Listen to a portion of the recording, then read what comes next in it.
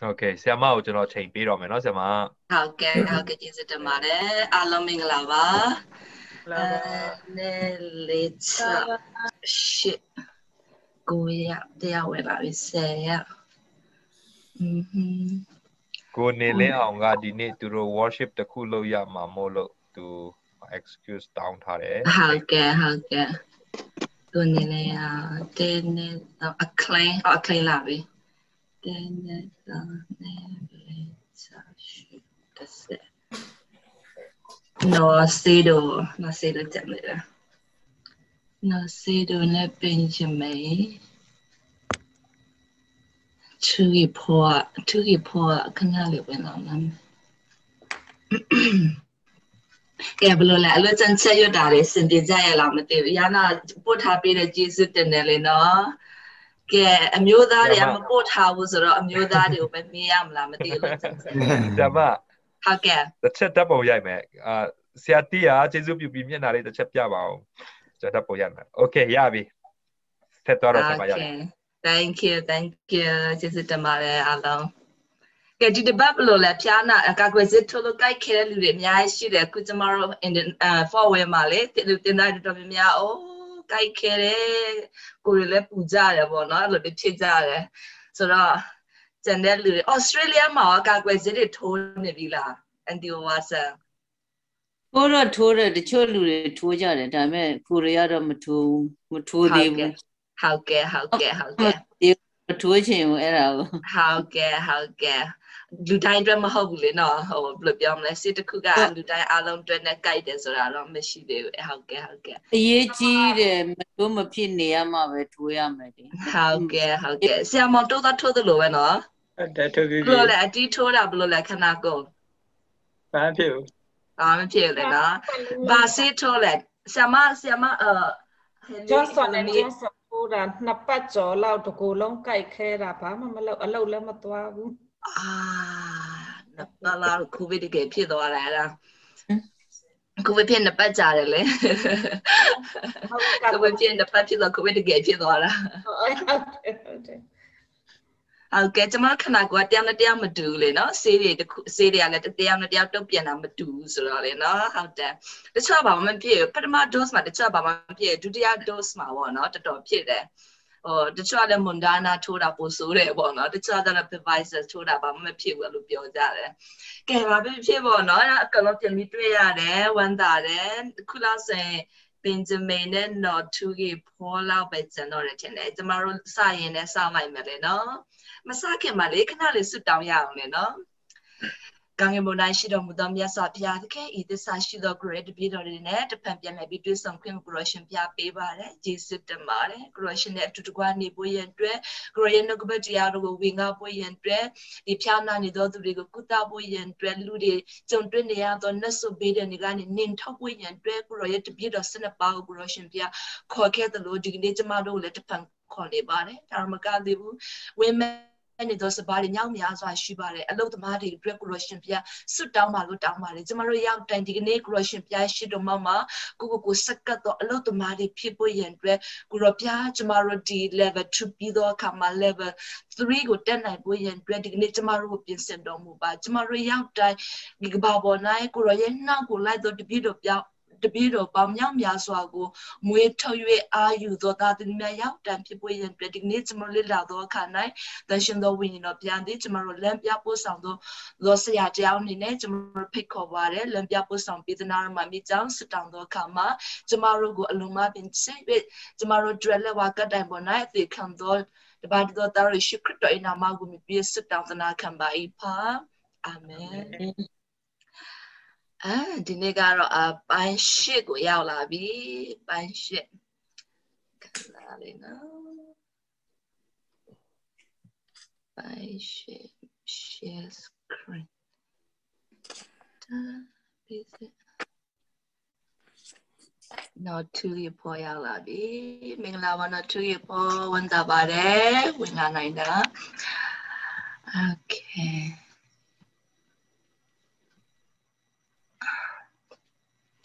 အပတ်စဉ်ရှစ်အရေးအတွက်တူပွားခြင်းရဲ့လိုအပ်ချက်ပြပြစဉ်းစားကြည့်အောင်နော်သခင်ခရစ်တော်ဘုရားစခဲ့လိုက်တဲ့အမှုတော်တပြည့်တော့12ပါးကနေပြီးတော့မှခုတကပါလုံးမှာပေါ့နော်ခရီးယန်တွေပေါင်းမြောက်များဆိုကျွန်ုပ်ကသခင်ခရစ်တော်ရဲ့နောက်ကိုလိုက်တော်သူဖြစ်ပါတယ်လို့ခုခေါ်တဲ့ခရီးယန်တွေပေါ့နော်ညောင်စွာရှိလာတယ်ဆိုတော့သူရဲ့လိုဝက်ချက်ကိုပေါ့နော်ကျွန်တော်တို့ဒီကနေ့လေ့လာသွားမယ်အာ okay နာဆောင်ဟုတ်စမပွားတိုင်းကျင်ခဲ့ okay အရင်အရေးကြီးတဲ့ season ဒီဘက်ကပေါ့နော် person ဘက်ရှိက အလွန်မှပြင်အရေးကြီးတဲ့အရာတစ်ခုဖြစ်တယ်သခင်ခရစ်တော်ရဲ့ပေါ့နော်သူရဲ့အစီအစဉ်တပြည့်တော်တွေသင်နဲ့ကျမတို့ရောက်တိုင်းစီအတွက်အယံကိုကောင်းတဲ့အယံရေးကြီးတဲ့အစီအစဉ်ကိုကျမတို့လေ့လာသွားမယ်အဲ့ဒါပါလဲဆိုတော့သခင်ခရစ်တော်ရဲ့ view ဟာဘယ်လို view ဟာလဲ the great commission ပေါ့နော်လူမျိုးတကာတို့ကိုသွားပြီးတော့ပေါ့နော်ငါရဲ့တပြည့်ဖြစ်စေပွေးရန်အတွက် သခင်ခရစ်တော်ပြ the great commission စေခိုင်းခြင်းဒီစေခိုင်းခြင်းကပေါ့နော်ဒီသူရဲ့ lensing ကပေါ့နော်တကယ်ကိုတကဘာလုံးကိုပြောင်းလဲသွားတဲ့ lensing အဲ့ဒီ view ဟာကိုပေါ့နော်ကျမတို့ကိုယ်တိုင်လေ့လာသွားမယ်သခင်ခရစ်တော်ဘုရားကိုယ်တော်တိုင်ကိုကဖန်တီးထားတဲ့ဒီ lensing ပေါ့နော်ဒီ view ဟာကိုကျမတို့လေ့လာတော့ခါနိုင်ကျမတို့ရောက်တိုင်းကပေါ့နော်ဤကဘာကိုလမ်းနိုင်ဖို့ရန်အတွက်ကျမတို့လက်သင်ထားတဲ့အရာကိုသူတစ်ပါးကိုလက်ဆင့်ကမ်းပြီးတော့မှသွန်သင်နိုင်ပြီးသူတစ်ပါးတွေလည်းပေါ့နော်ကျမတို့သခင်ခရစ်တော်ဖျားရဲ့ချစ်တော်ရင်းမှာသွန်သင်ခဲ့တဲ့လစ်လာခဲ့တဲ့တပြည့်တော်တွေလိုမျိုးဖြစ်ဖို့ရန်အတွက်ပေါ့နော်ဒီ view ဟာဒီစနစ်ကိုပေါ့နော်ကျွန်တော်တဖန်သူတစ်ပါးကိုပြန်ပြီး lesson ကန်သွားမယ် lesson ကန်သွားတော့အရင်အရေးကြီးတဲ့အရာတစ်ခုဖြစ်တယ်လေနော်ဆိုတော့ဒီ lesson ကဒီစီမံချက်ကပါလဲဆိုတော့ဝိညာဉ်ရေးရဆိုတော့ပေါ့နော်သခင်ခရစ်တော်ဘုရားကိုယုံကြည်သောပုဂ္ကိုယ်တွေတိုးပွားလာတဲ့အရာဖြစ်တယ်ဆိုတော့အလွန်ရေးကြီးတဲ့အရာကအခုကျမတို့ရောက်တိုင်းနှုတ်ကပါပေါ့နော်နှုတ်ကပတ်တရားတော်ကိုလေ့လာပြီးတော့မှသခင်ခရစ်တော်ဘုရားရဲ့ချစ်တော်ရဲ့မှာအတူရှိနေသောဤတပြည့်တော်တွေကနောက်အလောက်သမားတူမိမိကိုကိုကိုပြန်ပြီးတော့မှပွားတာဘယ်အချိန်ပေါ်မှာလဲတစ်နှစ်မှာတစ်နှစ်မှာတယောက်ကိုကိုကိုကိုပွားနိုင်တဲ့အစွမ်းအစားကိုကျမတို့အခုလေ့လာနေတယ်ဆိုတော့ဒီအရာကိုပေါ့နော်ကျွန်တော်က သားသမီးတွေပေါ့နော်ဟိုကျမဟုတ်သူများပြောဆိုအော်ဆရာမကငယ်ပေမဲ့ပေါ့နော်ကျမရဲ့ဝိညာဉ်ရေးရမိခင်ဖခင်လို့သူတို့သုံးတက်တာပေါ့နော်ဆိုတော့မိခင်ဖခင်နေနေနဲ့ပေါ့နော်သားသမီးတွေမွေးထုတ်ပေးရတာပေါ့နော်ဒီတိုင်းမဲ့ကိုယ့်ရဲ့ဝိညာဉ်ရေးရယုံကြည်တဲ့လူတွေကိုမွေးထုတ်ပေးတယ်ပေါ့နော်နောက်ထပ်ကိုလိုလူပဲကျန်းစာတင်ပေးတယ်လူနောက်ထပ်ကိုလိုပဲနှုတ်ကပတ်တရားတော့ဝေငှရေတော့သူကိုပြန်ပြီးတော့မှမွေးထုတ်ပေးတာဒီလိုမွေးထုတ်ပွဲရန်အတွက်ကကျမတို့ကတိကဝပြုတ်တော်သူတွေဖြစ်မယ်ဟုတ်ကဲ့ကျမတနေ့ကိုကျမလူလူမျိုးပဲနောက်တစ်တရားမွေးထုတ်ပေးနိုင်ဖို့ရန်အတွက်ကျမဖရာသခင်၌ကတိကဝပြုတ်ပါတယ်ဆိုတော့အရာဆိုတော့တနေ့မှာကျမတို့တနေ့တရားပဲမွေးထုတ်ပေးမယ်ဆိုရင်နှစ်20မှာကျမတို့လူလူလူမျိုးနောက်ထပ်ကိုဘွားအရောက်တစ်ထောင်လောက်ကျမတို့မွေးထုတ်ပေးနိုင်မယ်ဆိုတော့နော်ဆိုတော့အနည်း20ပေါ့နော်အနည်း20 20စပေါ့နော်နောက်ထပ်လူတစ်သန်းဖြစ်လာမယ်ဆိုတော့အဲ့လူတစ်ထောင်ကနေပြီးတော့မှပေါ့နောက်နောက်ထပ်လူတွေကိုပေါ့နော်ပြန်ပြီးတော့မှဆက်ပြီးတော့မှမွေးထုတ်ပေးမယ်စင်ကဘာပေါ်မှာခရစ်တော်ကိုချစ်လို့ပေါ့နော်ခရစ်တော်နောက်ကိုလိုက်တော်သူတွေဘီလီယံပေါင်းမြောက်များစွာရှိသွားလိမ့်မယ်ဆိုတော့ဤကဘာပေါ်မှာရှိတဲ့လူဦးရေထက်ကိုများပြီးတော့မှပေါ့နော်ဆိုတော့နှစ်နေတဲ့အတွင်းမှာလူပေါင်းမြောက်များစွာကသခင်ခရစ်တော်ရဲ့နောက်ကိုလိုက်တော်သူတွေဖြစ်လိမ့်မယ်ဒါကလိုဝက်ချက်ဖြစ်တယ်ဆိုတော့ဘယ်လိုလုပ်မှာလဲ ကျွန်တော်လေ့လာသွားမယ်ဒီဝိညာဉ်ရေးရာတိုးပွားမှုလို့ပြောတော့ကမှာခရစ်တော်ရဲ့နောက်ကိုလိုက်တော့တပြည့်တော်တွေရဲ့တိုးပွားမှု no အရှိန်ပေါ့နော်အဲ့ရ thought set ကိုကျွန်တော်လေ့လာသွားမယ်ဆိုတော့ကျွန်တော်တို့ရောက်တိုင်းကတခင်ခရစ်တော်ဖျားရဲ့ တပြည့်တော်လို့ပြောတော့ခါမှာအရေးအချင်းနဲ့ပြည့်စုံသောသူတွေကိုကိုယ်တိုင်ကအရေးအချင်းနဲ့ပြည့်စုံသောတကယ်ခရစ်တော်ကိုမိမိရဲ့တက်တာကိုစက္ကအနံသွားတယ်ဆိုရင်ကျွန်တော်တို့ရောက်တိုင်းစီကဒီ queen တန် queen set တွေမှာပေါ့နော်တစ်ဆက်တစ်ဆက်တစ်ဆက်မှာအရင်ကိုအရင်ကြီးတဲ့ဒီတန် queen set တစ်ခုဖြစ်နေတယ်ဆိုတာကိုပြန်ပြီးတတိယပါဘာဖြစ်လို့လဲကျမတို့ကတချို့ကကျန်းစာပဲတင်တော်သူတွေဖြစ်တယ်တချို့က ကျန်တဲ့လူတွေနှစ်ချင်ပေးသောသူဖြစ်တယ်ကျန်တဲ့လူကတချို့သောသူတွေကိုလက်တွဲခေါ်သောသူတွေဖြစ်တယ်ဆိုတော့ဒီသံကွင်းဆက်တွေထဲမှာပေါ့နော်အလုံးမပင်အရေးကြီးသောအရာတချို့ကလည်းအော်ကျန်းစာတင်ယူပါလားဆိုပြီးတော့မှမိတ်ဆက်ပေးသောသူတွေပဲဖြစ်တယ်ဆိုတော့ဒီ queen set တွေကပေါ့နော်ဘယ်လိုချိတ်ဆက်ရမလဲပေါ့နော်ကျမတို့ဆက်လက်ပြီးလေ့လာသွားမယ် ဆိုတော့ဒီအပတ်ပေါ့နော်လွတ်ကျင်ချက်ကဟေရှာနာဂတိကျန်ခန်းကြီး60အငယ်20နဲ့နိတိမောသေခန်းကြီး2အငယ်1ဖြစ်ပါတယ်ဆိုတော့လက်တွေ့အကြံပြုချက်တွေကိုဖတ်ထားမယ်လို့ကျွန်မယုံကြည်ပါတယ်အဓိကရည်ကြည်တဲ့အရာပေါ့နော်ဒီတဆင့်ပြီးတဆင့်ပေါ့နော်ဒီအခြားသူတွေကိုအခုကျွန်တော်လေ့လာထားတဲ့အရာကို lesson ကနိုင်ဖို့ရန်အတွက် ရည်ရွယ်တယ်။ဆိုတော့ဒါကကျမတို့ပဲလေ့လာတယ်ကျမတို့အတွက်ပဲယူပြီးဒီတိုင်းပဲသင်ထားတဲ့အရာတခုမဟုတ်ဘူး။ပြန်နေပြီးတော့မှ lesson ကံဖို့ရန်အတွက်ဖြစ်တယ်လေနော်။ဆိုတော့ကျမတို့ပတ်ဝန်းကျင်မှာကျမမိသားစုဝင်တွေရှိမယ်ကျမတို့မိတ်ဆွေတွေရှိမယ်လုပ်ဖို့ကင်ဖက်တွေရှိမယ်။ဒီလူတွေအကုန်လုံးလဲဝိညာဉ်ရေးရာကြီးထွားဖို့ရန်အတွက်ဒီလူတွေအကုန်လုံးကလည်းဒီဘုရားသခင်နှုတ်ကပတ်တရားတော်ကိုစာလာမှုသိတော်သူတွေရှိဖို့ရန်အတွက် အဲ့ဒီအရာကိုကျမတို့က lesson ကမယ်ကျမတို့ကပေါ့နော်ကိုဖေးမမဲ့တိုက်တွန်းလို့ဆိုမဲ့လူတွေဖြစ်တယ်လေနော်ဒါကစမန်တော်ခရစ်တော်ရဲ့တပည့်တော်ရဲ့လိုဝက်ချက်ဆိုအလို့တန်ချက်ရရှာခန်းကြီး20ငယ်20မှာ ငယ်တယောက်ဒီလူတစ်ထောင်ဖြစ်ရလိမ့်မည်အားနည်းသောသူတယောက်ဒီအာကြီးသောလူမျိုးဖြစ်ရလိမ့်မည်ငါထာဝရဘုရားဒီအချိန်ရောက်ရင်ထိုအမှုကိုလို့စော်မည်ဆိုတော့သိငယ်သောစိတ်နဲ့ကျမတို့တယောက်ထဲကနေပြီးတော့မှလူတစ်ထောင်ကိုဖြစ်အောင်လုပ်နိုင်တဲ့အစွမ်းရည် ဖရာသခင်ကလုပ်ပေးတယ်အဲ့ဒါပဲပုံမှန်ဆိုအချိန်အဲ့ဒီအချိန်ကိုတော့ကျမတို့တွေးနိုင်တဲ့အရေးချင်းကျမတို့မရှိဘူးသို့တော့ဖရာသခင်ကလုပ်နိုင်တယ်ကျမတို့သသိငယ်တဲ့လူတယောက်ကနေပြီးဝိညာဉ်ရေးရတိလေးငယ်ငယ်လေးကျန်းတော့အကလုံးနားမလဲတော့ဤလူငယ်ပေါ့နော်သူတယောက်ကနေပြီးတော့မှတထောင်ကိုဖြစ်နိုင်တယ်ဆိုတော့ပေါ့နော်အားငယ်တဲ့လူတယောက်ကနေပြီးတော့မှလူမျိုးကြီးကိုဖြစ်စေမယ်ဆိုတော့တင်တဲ့ကျွန်တော်တို့ကိုရောက်တိုင်းကိုပေါ့နော်ဒီဝိညာဉ်ရေးရနံပါတ်ပေါ့နော် လူဦးရေတိုးပွားလောက်ပေးသောနေရာမှာကျမတို့ကတံပိုးရှိတော်သူတွေရောက်တိုင်းဖြစ်တယ်လေနော်။နှစ်တိမောသေခကြီးနဲ့ငယ်နဲ့မှာတက်တေခံအများရှိသည်နဲ့ငါထနိုင်ကြရပြီးသောအရာတို့ကိုသစ္စာနှင့်ပြည့်စုံ၍သူတစ်ပါးတို့ကိုသွန်သင်ခြင်းကတက်စောနိုင်သောသူတို့၌အပ်ပေလောဆိုတော့ကျမတို့နောက် test lesson ကံတော့အခါမှာဘယ်လိုလူတွေကိုကျမတို့ရွေးချယ်ရမှာလဲဆိုတာကိုဒီမှာပြောထားတယ်ဆိုတော့ပေါ့နော် ကျမတခင်ခရစ်တော်ရဲ့ချစ်တော်ရဲ့မှာနှုတ်ကပတ်တရားတော်ကနေကျမကြားခဲ့တဲ့သက်သေခံတွေကိုကျမတို့ကြားပြီးဒီတိုင်းနေဖို့မဟုတ်ဘူးဆိုတော့ဘယ်သူတွေကိုပြန်ပြီး lesson ကန်ရမလဲဆိုတော့သစ္စာရှိတော်သူတွေပြောချင်တာကနှစ်ပတ်လောက်ဟိုနှစ်လလောက်ချိန်ပေးမဲ့လူတွေ6လလောက်အချိန်ပေးမဲ့လူတွေ9ပတ်လောက်အချိန်ပေးမဲ့လူတွေကိုအဲ့လိုသစ္စာရှိမဲ့လူတွေကိုပြန်ပြီးတော့မှဖွင့်သင်ပေးဖို့ရန်အတွက် ဆိုတော့သူတပါးကိုပြန်ပြီးစွန့်တင်နိုင်မဲ့လူတွေကိုပေါ့နော်ကိုကပြန်ပြီးတော့မှပေးအပ်ဖို့ရန်အတွက်ကျမတို့ကိုဒီမှာပေါ့နော်ကျန်းစာကနေပြီးတော့မှဖိတ်ခေါ်ထားပါတယ်အားပေးထားပါတယ်ဒီမှာကိုကချက်တစ်ခုကိုအားပေးချင်တယ်ဒီမှာဘာပြောထားလဲဆိုတော့လူတိုင်းတစ်ပင်ပေါ်မှာတစ်ပင်ကိုမြင်နိုင်တယ်သို့တော့အဲ့ပန်း စစ်ပင်လို့ပြောတဲ့အခါပန်းသီးကိုပြောတာလေနော်လူတိုင်းတစ်ပင်ပေါ်ပန်းသီးကိုတော့ကျွန်တော်တို့မြင်ရတယ်လေနော်သို့တော့ဒီပန်းသီးအထက်မှာရှိတဲ့စစ်ပင်တွေကိုမြင်နိုင်ဖို့ရန်အတွက်လိုအပ်တယ်ဆိုတော့ပန်းဒီတစ်လုံးချက်မှာအစ်စ်တွေအများရှိအစ်စ်ကနေပြီးတော့မှတစ်ပင်ပေါင်းများများစွာကိုပေါ့နော် ပွားများအောင်လုပ်ပေးနိုင်တဲ့စွမ်းအားကိုလူတိုင်းကမရှိဘူးမြင်နိုင်တဲ့စွမ်းအားလူတိုင်းမှာမရှိဘူးအဲ့ဒါကြောင့်မလို့ပေါ့နော်ကျမတို့ရောက်တိုင်းကဘုရားသခင်အသုံးတော်ခံမယ်ဆိုရင်ကျမတို့ကနေပြီးတော့မှကိုဘွားနောက်ထပ်တစ်ပင်လူကိုကျန်းစာနမှာတစ်ပင်နဲ့ခံနိုင်ထားတယ်လေနော်ဆိုတော့အဲ့လိုမျိုးကိုဘွားတစ်ပင်နဲ့အများကြီးကျမတို့မွေးထုတ်ပေးနိုင်တယ်ပြောချင်တာပေါ့နော်မျိုးဆိုင်ပြိုပေးနိုင်တယ်ဆိုတော့အဲ့ဒါကိုမြင်နိုင်တဲ့အစွမ်းရှိဖို့လိုအပ်တယ်လေနော် ကဲကျန်းစာရှာဖွေလေ့လာခြင်းစမသွားခင်မှာပေါ့နော်တမန်တော်ခင်းချောင်းငယ်ခုနှစ်မှာဖျားသခင်သာသနာတော်ဒီတိုးပွားသဖြင့်ယေရုရှလင်မြို့၌တပည့်တော်တို့သည်အလွန်ပွားများကြ၏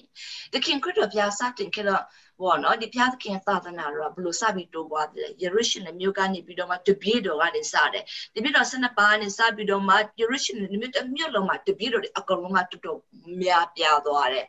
ဘလို့စဖြစ်တယ်လဲ မကုခကြီး16ငယ်15မှာအင်္ဂလိပ်သတင်းစကားကဘယ်လောက်အဝေးကြီးကိုရောက်သွားဖို့ရောက်သွားရမယ်လို့ပြောထားတယ်လဲမကုခကြီး16ငယ်15မှာတင်တို့ဒီလောကီနိုင်ငံအရရရှိသမျှသို့သွား၍ဝိနည်းတရဝအပေါင်းတို့အားအင်္ဂလိပ်တရားကိုဟောကြားလောဆိုတော့အင်္ဂလိပ်သတင်းစကားကလောကီနိုင်ငံအရရရှိသမျှ ရွာသေးသေးလေးဖြစ်စေတားနိုင်ငံကြီးကြီးဖြစ်စေမြို့ကြီးဖြစ်စေမြို့ငယ်လေးဖြစ်စေလောကီမှာရှိသောနိုင်ငံရှိသမျှအကုန်လုံးကိုရဖို့ရန်အတွက်ဘဖြစ်ပါတယ်ဆိုတော့အင်္ဂလိပ်သတင်းစကားကမြို့ကြီးမြို့ငယ်ရွာသေးစင်းရဲတဲ့နိုင်ငံချမ်းသာတဲ့နိုင်ငံအကုန်လုံးကိုရောက်သွားဖို့ရန်အတွက်ဖြစ်ပါတယ်မိကုနံပါတ်1 သခင်ယေရှုသည်ဤသူရဲ့အေဝံဂေလိသတင်းစကားတစ်ကမ္ဘာလုံးကိုပြန့်နှံ့သွားဖို့ရန်အတွက်ပေါ့နော်သူရဲ့ဆောင်ရွက်နိုင်တဲ့သူရဲ့ thought check ကပါလေပြန်ပြောမယ်အေဝံဂေလိသတင်းစကားတစ်ကမ္ဘာလုံးကိုပြန့်နှံ့နိုင်တဲ့ thought check ကပါလေမဿဲခန်းကြီး39ငယ်38မှာထိုအခါကိုရောကစပါရိတ်စရာများစွာရှိရိတ်တော်သူတို့၏နေကြ၏ တကက်စပါးကိုရိတ်မဲ့လူတကက်ပေါ့နော်ဒီဒဇင်းကိုကင်မဲ့လူတွေတကက်ဒီရိတ်ထားပြီးသားအရာကိုစုသိမ့်မဲ့လူတွေပြီးလို့ရှိရင်ပေါ့နော်ဒီစပါးကိုဘာလို့ဖို့လဲကြီးချမ်းကိုသွင်းမဲ့လူတွေအလွန်အလွန်မပင်နေတယ် အဲကြောင့်မို့သခင်ခရစ်တော်ဘုရားပါပြောတယ်လေလှုပ်ဆောင်သောသူတို့ကိုစပါးရိတ်စေခြင်းကစေလွတ်တော်မူမည်အကြောင်းစပါးရှင်ကိုဆွတောင်းကြလောဟုတပည့်တော်တို့အားမိတ်တော်မူ၏ဆိုတော့ရိတ်စရာစပါးများစွာရှိတယ်ဘုရားသခင်ကိုရှာဖွေနေသောသူတွေများစွာရှိတယ်ဒီကနေ့ကျွန်မဟောပါတော့ဒီတစ်ပတ်အလုပ်သွားတော့ စေအောင်မှာကိုဟောပါတော့ဒီကလေးလာမွေးတဲ့အမျိုးသမီးတယောက်နဲ့ကျမစကားပြောဖြစ်တယ်ကျမသူ့နှစ်ရက်စကားပြန်လုပ်ပေးတယ်ပထမဆုံးတရက်မှာကျမသူ့ကူပေးလိုက်တယ်ဟောပါတော့ကျမပြန်သွားတယ်သူစီကတရက်လည်းရောက်လာရောကျမအခန်းထဲဝင်လာတာလည်းကျမဘာပြောလဲဆိုတော့ဆရာမကိုကျမမြင်ဘူးတယ်ဆရာမဘယ်မှာနေလဲပေါ့နော်သူကနေတယ်ဆိုတော့ကျမက for win မှာနေတယ်လို့သူကထင်တာပေါ့နော်ဆရာမဘူးကျမ Indianapolis မှာပဲနေတယ်လို့ဆရာမမှာသမီးတယောက်ရှိတယ်မဟုတ်ဘူးလား အေးဟုတ်တယ်လို့သမီးတယောက်ရှိတယ်လို့ဆိုတော့အေးတဲ့ကျမတဲ့ဒီတရားဟောတာကိုနားထောင်ဘူးတယ်ပေါ့နော်ဆရာမတယောက်ကသူ့မှာလည်းသမီးတယောက်ပဲရှိတယ်လို့ပြောတယ်ပေါ့နော်အဲ့ဒီတရားဟောချက်ကိုကျမတို့မိသားစုတွေနားထောင်ကြတယ်ပေါ့နော်ကျမတို့တွေကတော့ပေါ့နော်ဥပုံတွေကိုစောင့်တဲ့လူတွေတော့မဟုတ်ဘူးပေါ့နော်ဒါပေမဲ့ဆွေတယောက်ကပို့ပေးတယ်ပေါ့နော်မိတ်ဆွေတယောက်ကပို့ပေးတော့ကျမတို့နားထောင်ဖြစ်တယ်ပေါ့နော်အော်ကျမစဉ်းစားတာပေါ့နော်တမီစဉ်းစားတာ လွန်ခဲ့တဲ့တပတ်အတွင်းကပေါ့နော်ဒီ media ministry ကိုဆက်လုပ်တော့ပြင်ကောင်းမလားဘယ်လိုလုပ်ရင်ကောင်းမလဲပေါ့နော်စဉ်းစားနေတဲ့အချိန်မှာဟိုကိုကဟိုတိတ်မကြည့်လောက်ဘူးထင်တယ်ဒီအချိန်မှာအရေးခင်းနေလဲဖြစ်နေတော့ပေါ့နော်လူတွေအရန်ကိုအလုံးများနေတယ်ကိုဗစ်ကြောင့်ဖျားနာနေတဲ့အချိန်မှာလူတွေတိတ်နာမထောင်ဖြစ်ဘူးထင်တယ်လို့ထင်တဲ့အခါမှာပေါ့နော်ကျမတို့နားထောင်တယ်တဲ့ကျမတို့တော်တော်များလိုက်ပြီးနားထောင်ဖြစ်တယ်ပေါ့နော်မိသားစုလိုက်နားထောင်တယ်ပေါ့နော်ပြောတော့ အော်အလောက်ကလောက်ရအောင်မှာပဲပေါ့နော်ဆက်လို့ရအောင်မှာပဲဆိုတော့အလုံးလို့တော်သူတွေကိုဘုရားသခင်ကအလုံးမပင်လိုအပ်တယ်အလုံးဆောင်တော်သူတွေများပြားဖို့ရန်အတွက်လဲစေလွတ်မဲ့လူတွေအတွက်လဲပေါ့နော်ကျမတို့စုတောင်းပါလူဝက်ချက်ကအလုံးလုံးမဲ့လူတွေအများကြီးရှိဖို့ရန်အတွက်စုတောင်းပါလို့သခင်ခရစ်တော်ဘုရားကကျမတို့မိန့်မာခဲ့တယ်မိဂုဏ်နံပါတ်3 တပြည့်တော်12ပါးကိုသခင်ယေရှုခေါ်ရတဲ့ရည်ရွယ်ချက်ကပါလဲတပြည့်တော်12ပါးကိုသခင်ခရစ်တော်ဘုရားခေါ်ရတဲ့ရည်ရွယ်ချက်မာကုခန်းကြီး3ငယ်7နှစ်မှာကိုရောနဲ့အတူရှိနေစေခြင်းကပထမဆုံးရည်ကြီးတယ်ကျမတို့သခင်ခရစ်တော်ဘုရားတပြည့်တော်ဖြစ်ဖို့ရန်အတွက်ကျမတို့ခေါ်ရတဲ့အလုံးမပင်ရည်ကြီးတဲ့အရာကနံပါတ်1သူနဲ့အတူရှိဖို့ရန်အတွက်ဖြစ်တယ်နံပါတ်2ကတရားဟောရသောခွင့်အနာယောဂါကိုငြိမ်းစေ၍နတ်ဆိုတို့ကိုနှင်ထုတ်နိုင်သောအခွင့်နဲ့ အခွင့်ကိုပေါ့နော်အခွင့်နဲ့ဆင်လွတ်ခြင်းက၎င်းကဂျိန်းနှစ်ပါးသောတပည့်တော်တို့ကိုခံထားတော်မူတယ်။ဆိုတော့သခင်ခရစ်တော်ဘုရားကတပည့်တော်၁၂ပါးကို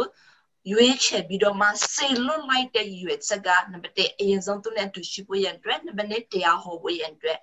အနာယောဂါကိုငြိမ်ဖို့ရန်အတွက်ဒီကနေ့ဒီချိန်မှာပေါ့နော်စေယုံမှာအလုံးမလုံးမအနာယောဂါငြိမ်းစေတာမျိုးမဟုတ်ကျမတို့လူတွေစိတ်တရရတဲ့လူတွေပေါင်းမြောက်များစွာရှိတယ်ဆိုတော့အဲ့လူတွေကိုလည်းကျမတို့ငြိမ်းဖို့ရန်အတွက်ဖခင်သခင်ကျမတို့အသုံးပြုမယ် နတ်ဆိုလို့ပြောတော့အခါမှာဒီကနေ့အရက်စေလိုက်ကွန်ဘိန်းတွေကိုဆွဲနေတဲ့လူတွေပေါင်းမြောက်များစွာရှိတယ်ပတ်စံရဲ့နောက်ကိုလိုက်ပြီးတော့မှပေါ့နော်ဒီဟိုဆွဲကတ်နေတဲ့လူတွေတချို့ကဘောလုံးဆွဲနေတချို့ကလက်ဝိတ်ဆွဲနေတဲ့နတ်ဆိုတွေအများကြီးရှိတယ်ဆိုတော့ဒီအရာတွေကိုနင်ထုတ်နိုင်ဖို့ရန်အတွက်ပေါ့နော်ဒီဓမ္မတရားကလူရဲ့နှလုံးသားထဲမှာဝင်ရအလုံးလုံးလာပြီးဆိုရင်အဲ့ဒီနတ်ဆိုတွေကထွက်သွားတယ်ဆိုတော့ပေါ့နော်လုံနိုင်တဲ့အရေးချင်းတွေရှိတယ် ဆိုကျမတို့တွေဘုရားသခင်ကျမတို့ခေါ်တဲ့တပြည့်တော့12ပါးကိုခေါ်ခဲ့တဲ့ရည်ရွယ်ချက်ကိုကျမတို့သိဖို့ရန်အတွက်လိုအပ်တယ်ကျမတို့ရောက်တိုင်းကိုဘုရားသခင်ခေါ်ခဲ့တဲ့ရည်ရွယ်ချက်ကိုကျမတို့နားလည်ဖို့ရန်အတွက်အလုံးရည်ကြည်ပါတယ်သူနဲ့အတူနေ့တိုင်းရှိဖို့ရန်အတွက်ဟောပြောဖို့ရန်အတွက်အနာယောဂကိုငြိမ်ဖို့ရန်အတွက်နတ်ဆိုတွေကိုနှင်ထောက်နိုင်ဖို့ရန်အတွက်တပြည့်တော့12ပါးကိုခံထားတော်မူတယ်မိကွန်းနံပါတ်လေး သူတို့ကိုအချွတ်တော်သင်ခန်းစာကိုဘာယေရှုဘာတွေသင်ပေးခဲ့တယ်လဲဟုတ်ပြီခုနတော့သူနဲ့အတူရှိနေတဲ့အခါမှာသခင်ခရစ်တော်ဘုရားကသူတို့နားလည်ရမယ်သင်ခန်းစာသူတို့ကတကယ်လက်တွေ့သင်ပေးလိုက်တဲ့အရာတွေကဘာလဲမသက်ခဏချောင်းရဲ့ကြောင့်တင်းဒီစွတောင်သောအခါစိတ်ညံစိတ်ညံရာအခန်းသို့ဝင်၍တကားကိုပိတ်ပြီးမှမထန်ရှားသောအရာ၌ရှိတော်မူသောသင်၏အဘကိုစွတောင်သောမထန်ရှားသောအရာကိုမြင်တော်မူသောသင်၏အဘသည်အကျိုးကိုထင်ရှားစွာပေးတော်မူလက်တ စွတောင်သောအသက်တာကျမတို့လူတွေမမြင်သောအခါမှာတခါလေကြားလို့ရှိရင်ခရိယန်တရက်တပတ်ကို3နာရီခရိယန်ဖြစ်ရတာအရင်လွယ်ကူတယ်ဘုရားကျောင်းမှာသွားလိုက်အင်ဒီကကောင်ဟိုလိုက်အရင်အဆင်ပြေတယ်သို့တော့လူမမြင်ရောက်တော့နောက်ွယ်ပါကျမတို့ဘယ်လိုအသက်ရှင်တယ်လဲဘာဖြစ်လို့လဲမထင်ရှားသောအရနိုင်ရှိတော်မူသောကျမတို့ရဲ့အပါသာကျမတို့ရဲ့စွတ်တောင်းသောတက်တာကျမတို့သူ့နဲ့ဘလောက်အတူတူရှိနေတယ်လဲအဲ့ဒီအရာကို तू က သတိထားသောဖယားဖြစ်တယ်လူတွေရဲ့နောက်ွယ်မှာကျမတို့ဖယားနဲ့ဘလို့ယဉ်နေမှုရှိတယ်လဲ fellowship ပေါ့နော်ယဉ်နေအောင်ကျမတို့ဘလို့အချိန်ပေးတယ်လဲဘယ်အရာတွေကိုကျမတို့ဖယားနဲ့စကားပြောလို့ရှိတယ်လဲဘာဖြစ်လို့ဆိုမထင်ရှားသောအရာမှမြင်တော်မူသောဖခင်ကကျမတို့အကျိုးကိုထင်ရှားစွာပေးတော်မူတယ်လူတွေမရှိသောလူတွေမမြင်ရသောအချိန်ကာလမှာကျမတို့ဖခင်သခင်နဲ့ယဉ်နေအောင်လှုပ်ဆောင်နေသောအချိန်ပေးခြင်းက အကျိုးကိုထင်ရှားစွာလုပ်ပေးမယ်ကျမတို့ဟိုပါပေါ့နော် prayer journal တွေကိုကျမတို့ရေးတယ်ကျမတို့ဆွတ်တောင်းချက်တွေကိုကျမတို့မှတ်တမ်းတင်ပြီးတော့ဖခင်နဲ့မိတ္တဟာရဖတ်သောအရာတွေကအလကားမဖြစ်ဘူးဆိုတာကိုပြောခြင်းဖြစ်တယ်ယောဟန်ခန်းကြီး၈အငယ်31 32မှာ ထိုအခါယေရှုကသင်တို့သည်ငါ၏ဒေသနာ၌တည်လင်ငါတပြည့်အမှန်ဖြစ်ကြ၏တမန်တရားကိုလည်းသိသဖြင့်ထိုတရားသည်သင်တို့ကိုလွတ်လိုက်မည်ဟုယုံကြည်သောယူဒလူတို့အားမိတ်တော်မူ၏ဆိုတော့ဤနှုတ်ကပတ်တရားတော့နည်းနည်းရံကိုကျမတို့ ဘလောက်အချိန်ပြည့်တယ်လဲစစ်မှန်သောသခင်ခရစ်တော်ဖျားရဲ့တပည့်တော်ကသူ့ရဲ့ကျမ်းစာကိုသူသိတယ်အဲ့ဒီတရား၌သူကတည်တယ်တရား၌ပေါ့နော်တည်တယ်လို့ပြောသောအခါမှာနှုတ်ကပတ်တရားတော်တိုင်း affection လိုက်ရှာဖို့ရန်အတွက်ကိုကိုကိုဖျားကိုစက္ကအနံတော်သူတယ်မမိသားတပည့်တော်ဖြစ်ပင်ကြီးတယ်မှာစွတောင်းတဲ့အသက်တာနှုတ်ကပတ်တရားတော်၌ရက်တည်သောအသက်တာ ဆိုတော့သခင်ခရစ်တော်ဘုရားသူရဲ့တပည့်တော်တွေကိုနှုတ်ကပတ်တရားတော်ဈာနာခဲရသောဒေသနာ၌ရက်တည်ဖို့ရန်အတွက်တမန်တရားကိုသိတော်သူတွေဖြစ်ဖို့ရန်အတွက်သူတုံ့တင်ပေးတယ်ဆွတောင်းတဲ့အသက်တာနှုတ်ကပတ်တရားတော်၌ရက်တည်နိုင်သောအသက်တာယောဟန်ခန်းကြီး15အငယ်14မှာသင်တို့သည်ငါပညာသမားတို့ကိုကျင့်ဆောင်လေငါဤအဆွေဖြစ်ကြ၏ ကျမတို့သခင်ခရစ်တော်ဘုရားကျမတို့ခေါ်တာသူရဲ့တပည့်အနေနဲ့ခေါ်တယ်မှန်တယ်သို့တော့ကျမတို့သူရဲ့လုပ်ငန်းစဉ်တွေကိုသူကဝင်ငါချင်တော်သူတွေသူရဲ့အောင်မြင်မှုတွေကိုကျမတို့ဝင်ငါချင်တော်သူတွေဖြစ်တယ်ဆိုတော့ကျမတို့ကိုသူရဲ့မိတ်ဆွေအနေနဲ့ဖိတ်ခေါ်ထားတယ်ဆိုတော့သခင်ခရစ်တော်ဘုရားရဲ့မိတ်ဆွေတွေအနေနဲ့ကငါပညာသမ ्या တို့ကိုကျင့်ဆောင်လင်လို့ပြောထားတယ်။သခင်ခရစ်တော်ဘုရားမိမတော်မူချက်တုံသင်ချက်မှန်သမျှပညာတော်၁၀ပါးကိုကျမတို့ကိုယ်တိုင်ကကျင့် သက်ရှင်လိုက်လျှောက်တော်သူတွေဖြစ်မယ်ဆိုရင်ကျမတို့ကသခင်ခရစ်တော်ဘုရားရဲ့မိတ်ဆွေတွေဖြစ်မယ်လို့ပြောထားတယ်သူနဲ့အတူတကွအတူတကွအမှုတော်ဆောင်ဖို့ရန်အတွက်မိတ်ဆွေဖြစ်ဖို့ရန်အတွက်ကျမတို့ဖိတ်ခေါ်တယ်မိတ်ဆွေဖြစ်ဖို့နီလန်းကိုလည်းသူပြောတယ်ပါလေငါမိမသမားတို့ကိုကျင့်ဆောင်ပါသက်ရှင်ပါလိုက်လျှောက်ပါလို့ပြောထားတယ် လူကခကြီးကိုငယ်နေမှာဘုရားသခင်နိုင်ငံတော်အကြောင်းကိုဟောပြောစေခြင်းက၎င်းလူနာတို့ကိုချမ်းသာစေခြင်းက၎င်းစေလွတ်တော်မူ၍လို့ပြောထားတယ်ခုနကတော့ကြံပိုင်းကိုပြင်ကြည့်ရအောင်ဆိုတော့ငါပညာသမားတို့ကိုကျင့်ဆောင်နေလို့ပြောသောအခါမှာ obedient နာခံတယ်ကျမတို့ကကြားခဲ့သောနှုတ်ကပတ်တရားတော့လစ်လာခဲ့သောနှုတ်ကပတ်တရားတော့ဘယ်လောက်ထိ နာခံမှုရှိတယ်အဲ့ဒါကိုပြောတယ်ဆိုတော့သခင်ခရစ်တော်ဘုရားသူတပည့်တော်သူသင်ခဲ့တော်အရာကနှုတ်ကပတ်တရားတော်ကိုဖတ်ပြီးသိအောင်လုပ်ပြီးနှုတ်ကပတ်တရားတော်၌ရက်တည်ဖို့ရန်အတွက်ဆုတောင်းဖို့ရန်အတွက်သူနဲ့မိတ္တဟာရနေ့စဉ်ဖွဲ့ဖို့ရန်အတွက်အကက်တော်နှုတ်ကပတ်တရားတော်ကိုနာခံဖို့ရန်အတွက်သူရဲ့တပည့်တော်ကိုသွန်သင်ပေးတယ်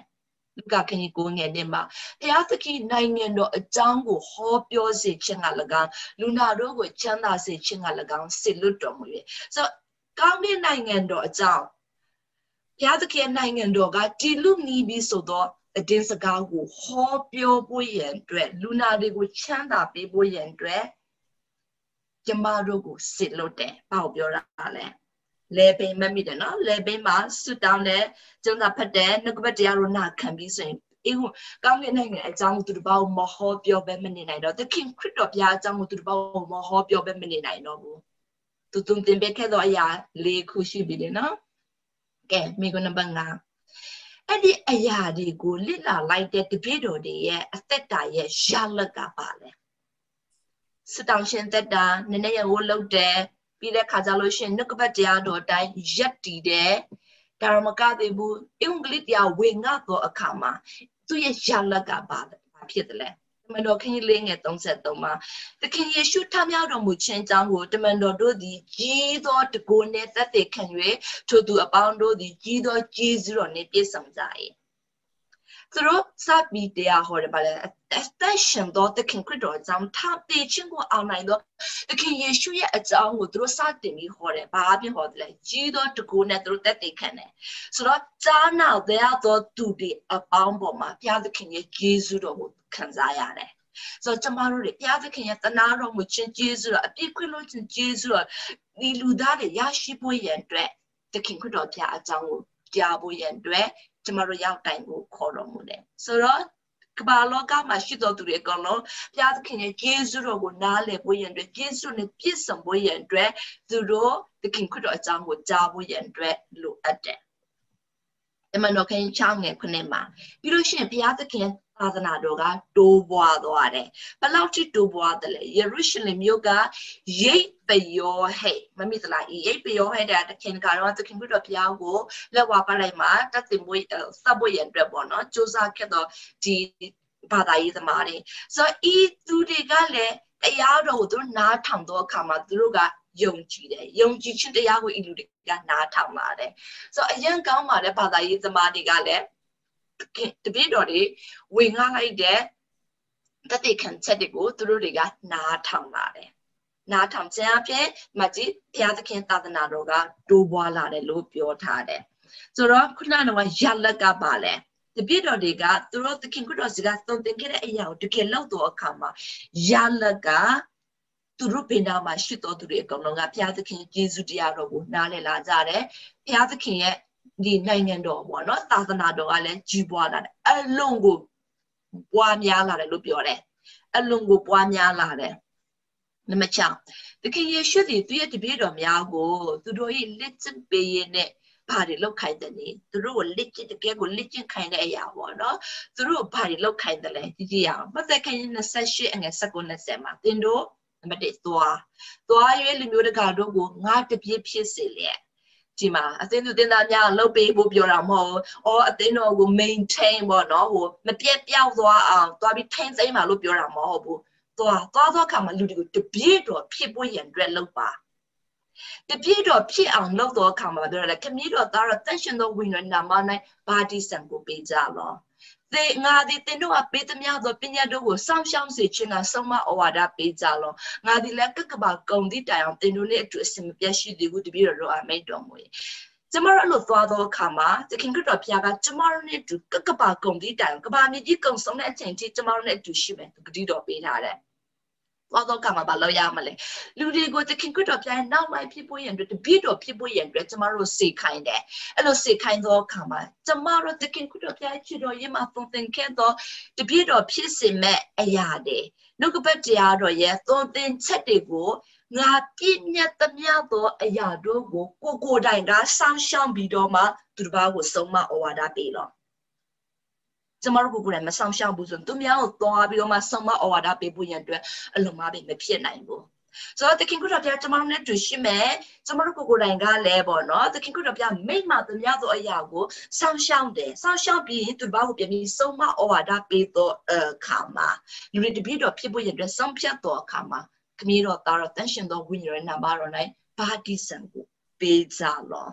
ဒါကသင်နဲ့ကျမတို့ရောက်တိုင်းကိုသခင်ကုတော်ပြ ဖိတ်ခေါ်သောအရာဖြစ်တယ်။ဘာတွေလောက်ခိုင်းသလဲ။သွားလို့ပြောနေတယ်။ဆိုတော့ကျမတို့ဒီကနေ့သွားဖို့ရတဲ့ကိုကိုပြင်ဆင်နေသလား။စိတ်ထဲမှာစပြီးပြင်ဆင်နေပြီလား။ဒီကုနံပါတ်9ပေါ်လူဒီသူနဲ့သာသနာခီဘယ်သူနဲ့ပေါ့နော်။မြည်သူနဲ့သာသနာခီထွက်ခဲ့တယ်လေ။တမန်တော်ခင်း20ငယ်လေးမှာခေတ္တပတ်ကျမတို့လေ့လာခဲ့တယ်လေနော်။ရှင်ပေါ်လူသူမှုတော့ဆောင်တဲ့အခါမှာသူတရားပဲဆောင်သလား။ဘယ်သူနဲ့ဆောင်တယ်လဲ။ ပေါလုနဲ့တူအာရှိမျိုးအာရှိပြည်တို့လိုက်သောသူဟုမူကားဗီရိမျိုးသားဖြစ်သောပုရုဣတာသောပတိတရုသောပတရုသက်သာလောနီမျိုးသားအရိတ်တခုနဲ့သေကုံဒုပြီးရင်ဒေရာမျိုးသားဂါယုလုတရာမျိုးသားတိမောသေအရှိပိတာတုခိနေတရောဖိန်တီဆိုတော့ရှင်ဘောလူသူမှုတော်ဆောင်သောအခါမှာသူတယောက်တည်းမဆောင်ဘူး အဖွဲ့နဲ့သူဆောင်တယ်သူနဲ့သူရဲ့သာသနာမှာအတူကလှုပ်ဆောင်သောသူတွေရှိတယ်ဆိုတော့ကျမတို့ team work အဖွဲ့လိုက်အလုပ်လုပ်နေသလားနေဖုန်းကြည့်တာကနမ်းမလို့လာနေပြန်ဖိတ်ပြအေး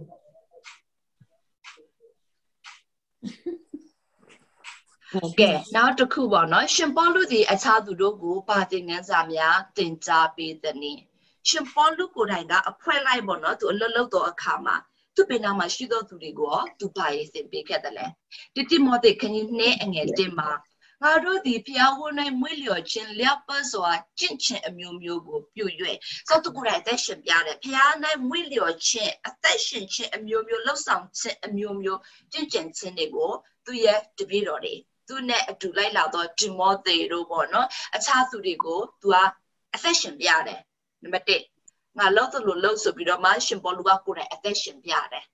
ကျင့်ချင်းအမျိုးမျိုးကိုပြုတယ်ဆိုတော့လျောက်ပတ်စွာကျင့်ချင်းဘလို့နေလဲဘလို့ထိုင်လဲဘလို့ဟောလဲအကုန်လုံးသူကပုံစံနမူနာကောင်းနေနဲ့သူအသက်ရှင်ပြရတယ်။ဆိုတော့ဒီတိုင်းပဲကျမတို့တပြည့်တော့ခရစ်တော်တပြည့်တော့ဖြစ်သွားကမှကျမဘလို့နေဘလို့ထိုင်နေလူများသတိထားမိတယ်။ဆိုတော့ကျမတို့အသက်ရှင်ခြင်းမှာသူတစ်ပါးအတွက်စနမူနာကောင်းဖြစ်ဖို့ရအတွက်အလိုမှပဲအရေးကြီးတယ်။ နံပါတ်1နိတိမောတေခဏနှစ်ငယ်ဆန္ဒမှာသင်မူကားဝန်ခံတော်မူသောသူရှက်ကြောက်စရာအကြောင်းမရှိဘဲတမန်တရားကိုမှန်ကန်စွာပိုင်းခြားတတ်သောဆရာသမားဖြစ်လက်ပြသခင်ရှင်၌ကိုကိုကိုဆက်သားခြင်းကကြိုးစားအားထုတ်လော့။သခင်နှုတ်ကပတ်တရားတော်ကိုပိုင်းခြားပြီးတော့မှလစ်လာခြင်းကရှက်ကြောက်စရာအကြောင်းလုံးဝမဟုတ်ပါဘူး။ကိုကိုကိုတကယ်ကိုကြိုးစားအားထုတ်ပြီးလှုပ်ဆောင်တယ် ကိုကိုယ်တိုင်ကြိုးစားပြီးအားထုတ်ပြီးလှုပ်ဆောင်ဖို့ရန်အတွက်တိမောသေကိုသူသွန်သင်တယ်။ကဲနှုတ်ကပတ်တရားတော်ကိုဆက်လက်ပြီးသွန်သင်ဖို့ရန်အတွက်ဆက်လက်ပြီးလေ့လာဖို့ရန်အတွက်နှုတ်ကပတ်တရားတော်လေ့လာခြင်း၌ရှက်ကြောက်စရာအကြောင်းမရှိဖို့ရန်အတွက်ရှင်ပေါလုကတိမောသေကိုဆက်လက်ပြီးတော့မှလမ်းပြတယ်ပို့ဆောင်တယ်ဒါမှမကသေးဘူးတိုက်တွန်းလို့ဆိုတယ်။ကဲ တေတတလောနိခန်ကြီးလေးအငယ်တင်းပါရောဘလို့ပြောထားသလဲကျွင်းသေးသောစကားဟုမူကားညီကိုတို့တင်တို့သည်အဘယ်သို့ကျင့်ရမည်ဖျားသခင်ကိုအဘယ်သို့နှစ်သက်စေရမည်ကိုငါတို့ထံ၌နီးခံကြသည်နီးတူတိုးပွား၍ကြွယ်ဝပြည့်စုံမည်အကြောင်းဖျားသခင်ကို အမိပြုလေငါတို့သည်တောင်းပန်၍တိုက်တွန်းသွေးဆောင်ကြ၏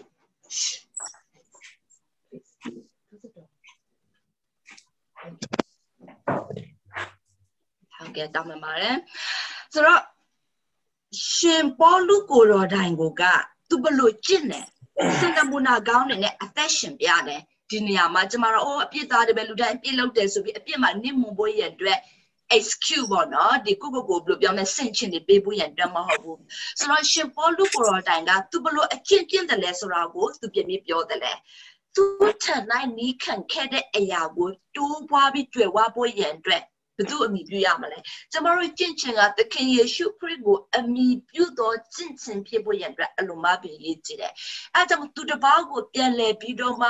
ရှင်ပေါလုကအမှจิตတတဝနီမျိုးသူမျိုးသားပါပြောဆိုသူစကားနဲ့တင်ယူခဲ့တဲ့အရာတွေကိုသူတစ်ပါးကိုပြန်လည်ပြီးတော့မှဝင်ငါတော့အခါမှာအသက်ရှင်ဖို့ရန်အတွက်စနမူနာကောင်းနေနဲ့အသက်ရှင်ပြတော့အခါမှာသခင်ခရစ်တော်ဘုရားကိုအမိပြုပါ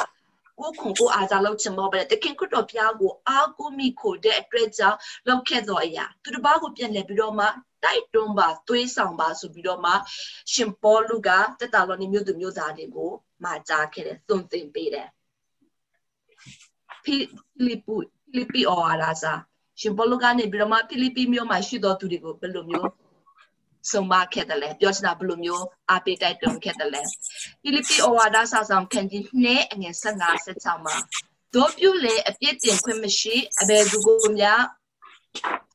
ခဏလေးနော်ကျွန်မတရားမြူလိုက်အောင်ပါ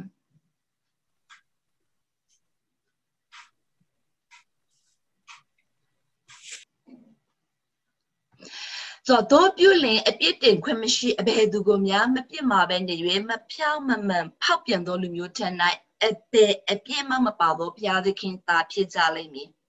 ကျမတို့ဖပြန်တော်သူတွေမဖြစ်ဖို့ရန်အတွက်ကျမတို့အသက်ရှင်ခြင်းကအပြစ်တရားကိုမစွဲကင်ထားဖို့ရန်အတွက်အပြစ်မပါတော့ဘုရားသခင်ရဲ့သားသမီးဖြစ်ဖို့ရန်အတွက်တပြည့်တော်လေးကိုမိမထားတယ် ဆိုတော့တခင်ခုတော်ဘုရားကျမတို့မှာအပြစ်ကိုတည့်ရတာနဲ့အပြစ်ကိုဆက်ပြီးဆွဲကင်ပြီးအသက်ရှင်မယ်ဆိုရင်ဘုရားသခင်စစ်မှန်သောသားသမီးတွေမဟုတ်ဘူးပြီးရင်ကဲအပြစ်မရှိဘဲနဲ့ဘုရားသခင်စစ်မှန်သောသားသမီးတွေနဲ့ဘလို့အသက်ရှင်ကြမလဲအသက်ရှင်ခြင်းနဲ့ဆိုင်သောနှုတ်ကပတ်တရားကိုပြရွယ်စัจ java ရာ၌နေလာကျင်နာခကဲ့သို့ထိုလူမျိုးအထက်၌ထွန်လင်းကြ၏